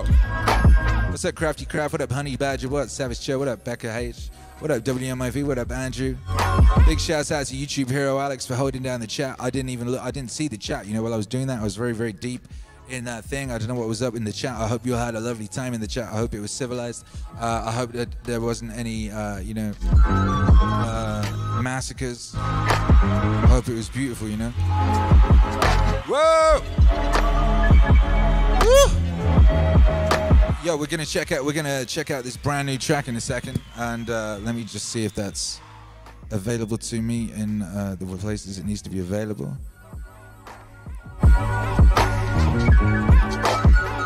Can access. Ah, no, I can't access. Currently, I'm, I'm in the wrong thing. I got to switch account. You know, I got to switch account in the back end, so to speak. That ain't a euphemism, you know.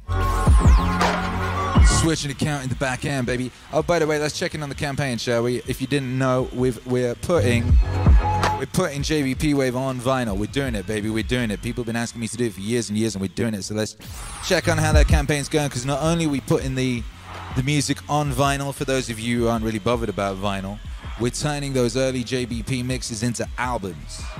And I know you I know you all are excited about that. I know you're all excited about getting those early mixes turned into fully fledged epic concept albums, which is what we've been working so hard on for the past few years, you know, as we develop Meaning Wave as a psycho technology from its early crude forms into the incredible, uh, highly powerful thing that it is now, you know? So let's have a look at that. Let's see our campaign. Oh, I need to turn off uh, my special effect. I had a special effect, you know? Did you like the way that did you like the way that we had JBP mingling with the cosmos? Did you like that? Did you like that?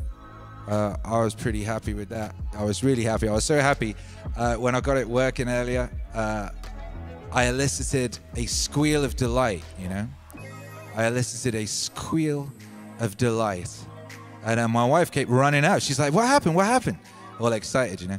And uh, I was like, Look, I made it beautiful, baby.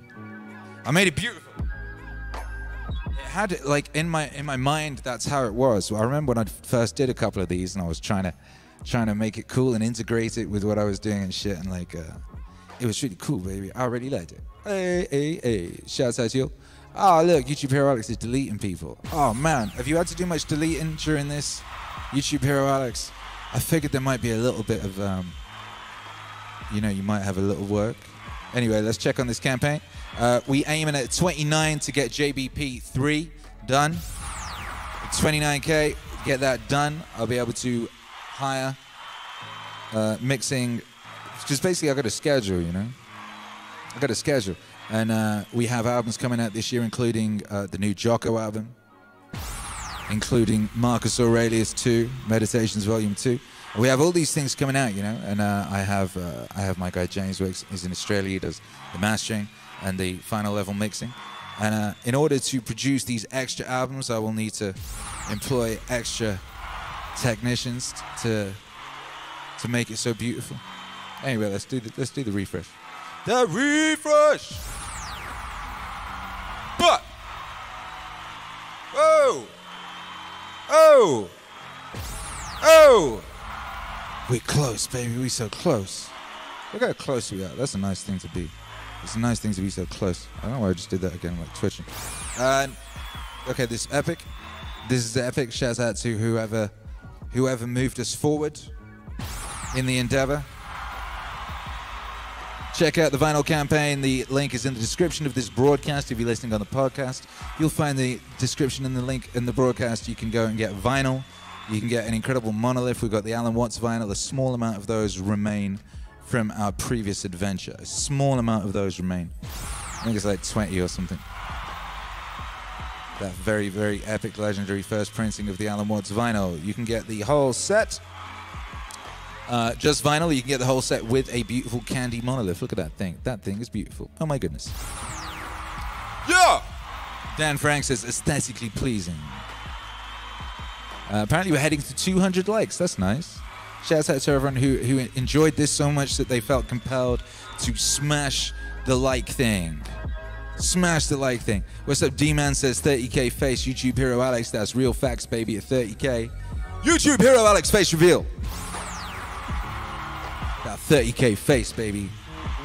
That beautiful 30k face. That Canadian face. Shouts out to Canada. Shouts out to the ancestors. God bless each and every one of you who's been here tonight by Joe. Come on, baby. Come on, baby, baby. Come on. Becca H says Cosmic JBP, very cool. Um, what's up, everybody? Like Hat Film says that effect was beautiful. Hey, hey, thank you. Thank you, thank you. Uh, yeah, thank you all. Uh, it's, let me check. Is it out yet? We got a new single dropping tonight. Oh, I think I don't know. I think in Australia you've got it already, but the rest of us get it at midnight New York time. Is that how it works with Spotify? I'm never entirely sure. I feel they kind of change things um, week upon week. But we have a new single coming out. It's called "The Finite and the Infinite." It's called "The Finite and the Infinite," and I'm wondering whether you would like to listen to it and then watch the video, or whether you would like to watch the video whether you would like the experience to be audio and then audio video or audio first. Let me know. Let me know in the chat. Let me know in the chat, and uh, I'll, I'll leave this one down to you. Video or audio, audio, or video? Let me know. Dylan Thomas says 200 likes? Question mark. I don't know. I can't imagine what an answer to that question would be. Uh, Savage Chill says 200 likes. Woo! Oh, nice. Hey, shouts out to 200 likes. Uh, the idea, by the way, is that we're going to do this every week. Uh, the idea is to do these Bible lectures every week as a series. That's the idea. What do you think of that as an idea? What do you think, guys? People want to see the video? Uh, D-Man says A, then AV. Crafty Craft says video over chat. Sun71 says audio. Pixie says video. It's pretty even right now. Pretty even right now. You'll better keep voting. Uh, Crafty Craft says video first. Uh, the video, uh, John says audio, then full. Ooh, it's still, this is not by any means any kind of a, a landslide in either direction. YouTube Hero Alex says, great idea, woo! Great idea, woo. Um, it's very, man, I thought doing Dune Wave was intense, but I thought, oh, this will be, this will be a breeze compared to Dune Wave. No. I don't know what it is. I don't know what it is. Uh, my, my like abdominal muscles are, are, uh, stinging for some reason from that. Uh, Becca H says, listen, let's listen to it here together. Hey, there you go. That's the idea.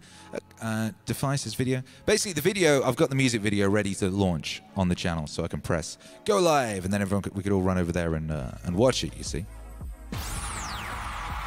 that's the idea. I could also set it as a premiere, like an instant premiere, so we could all just jump over there and carry on, and you could all be in the chat still. But then it's uh, I, I've been just doing the premieres with longer ones lately because it feels like a premiere is too short for it to even matter that it's uh, that, that it's a chat. You know what I mean? Does that make sense?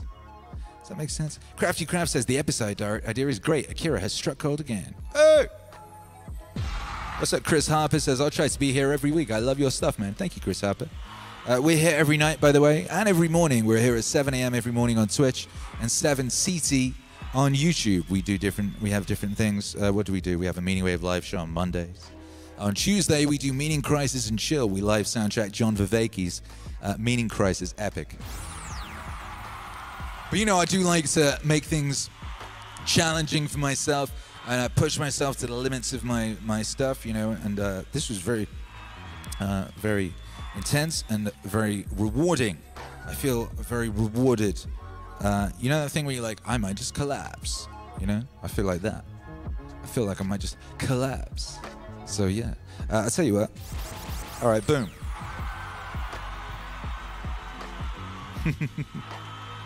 Dylan Thomas, meaningful words put to chill beats. Not everyone can read, but everyone can listen. Exactly. Exactly. Uh, WMIV says, Premier It will jump over there and all smash like, leave a comment, and boost the algos. If everybody did that, if everyone who was here right now did that, that probably would be a good little jump off. So maybe we'll do that.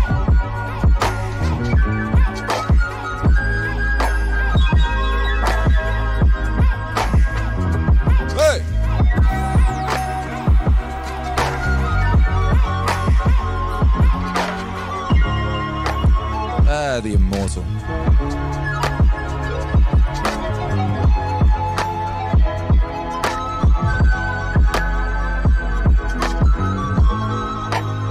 Sass is instant premiere. That's my that's my ability to do. I'm about to do it. You dig? I'm about to sass it as an instant premiere. Uh, Twitch hero Alex, YouTube hero Alex. Uh, could you uh, post the link in the chat? I think it's it's there right now. Should be there right now.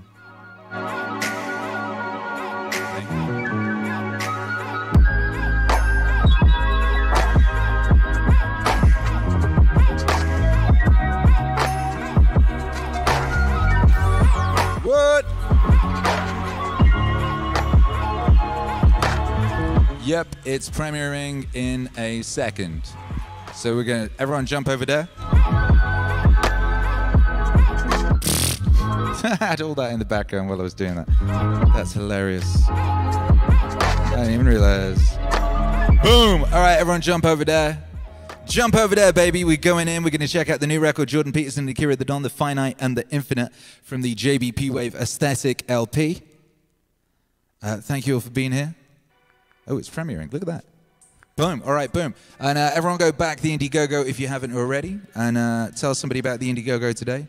And look, we got two chats at the same time. This is so epic. We got the same music in both things. This is crazy. How's this even possible? How many people are over there right now? 18 over there now. This is craziness. All right, boom. I'll see you all uh, in the morning, 7 a.m. CT. God bless. Thank you for being here.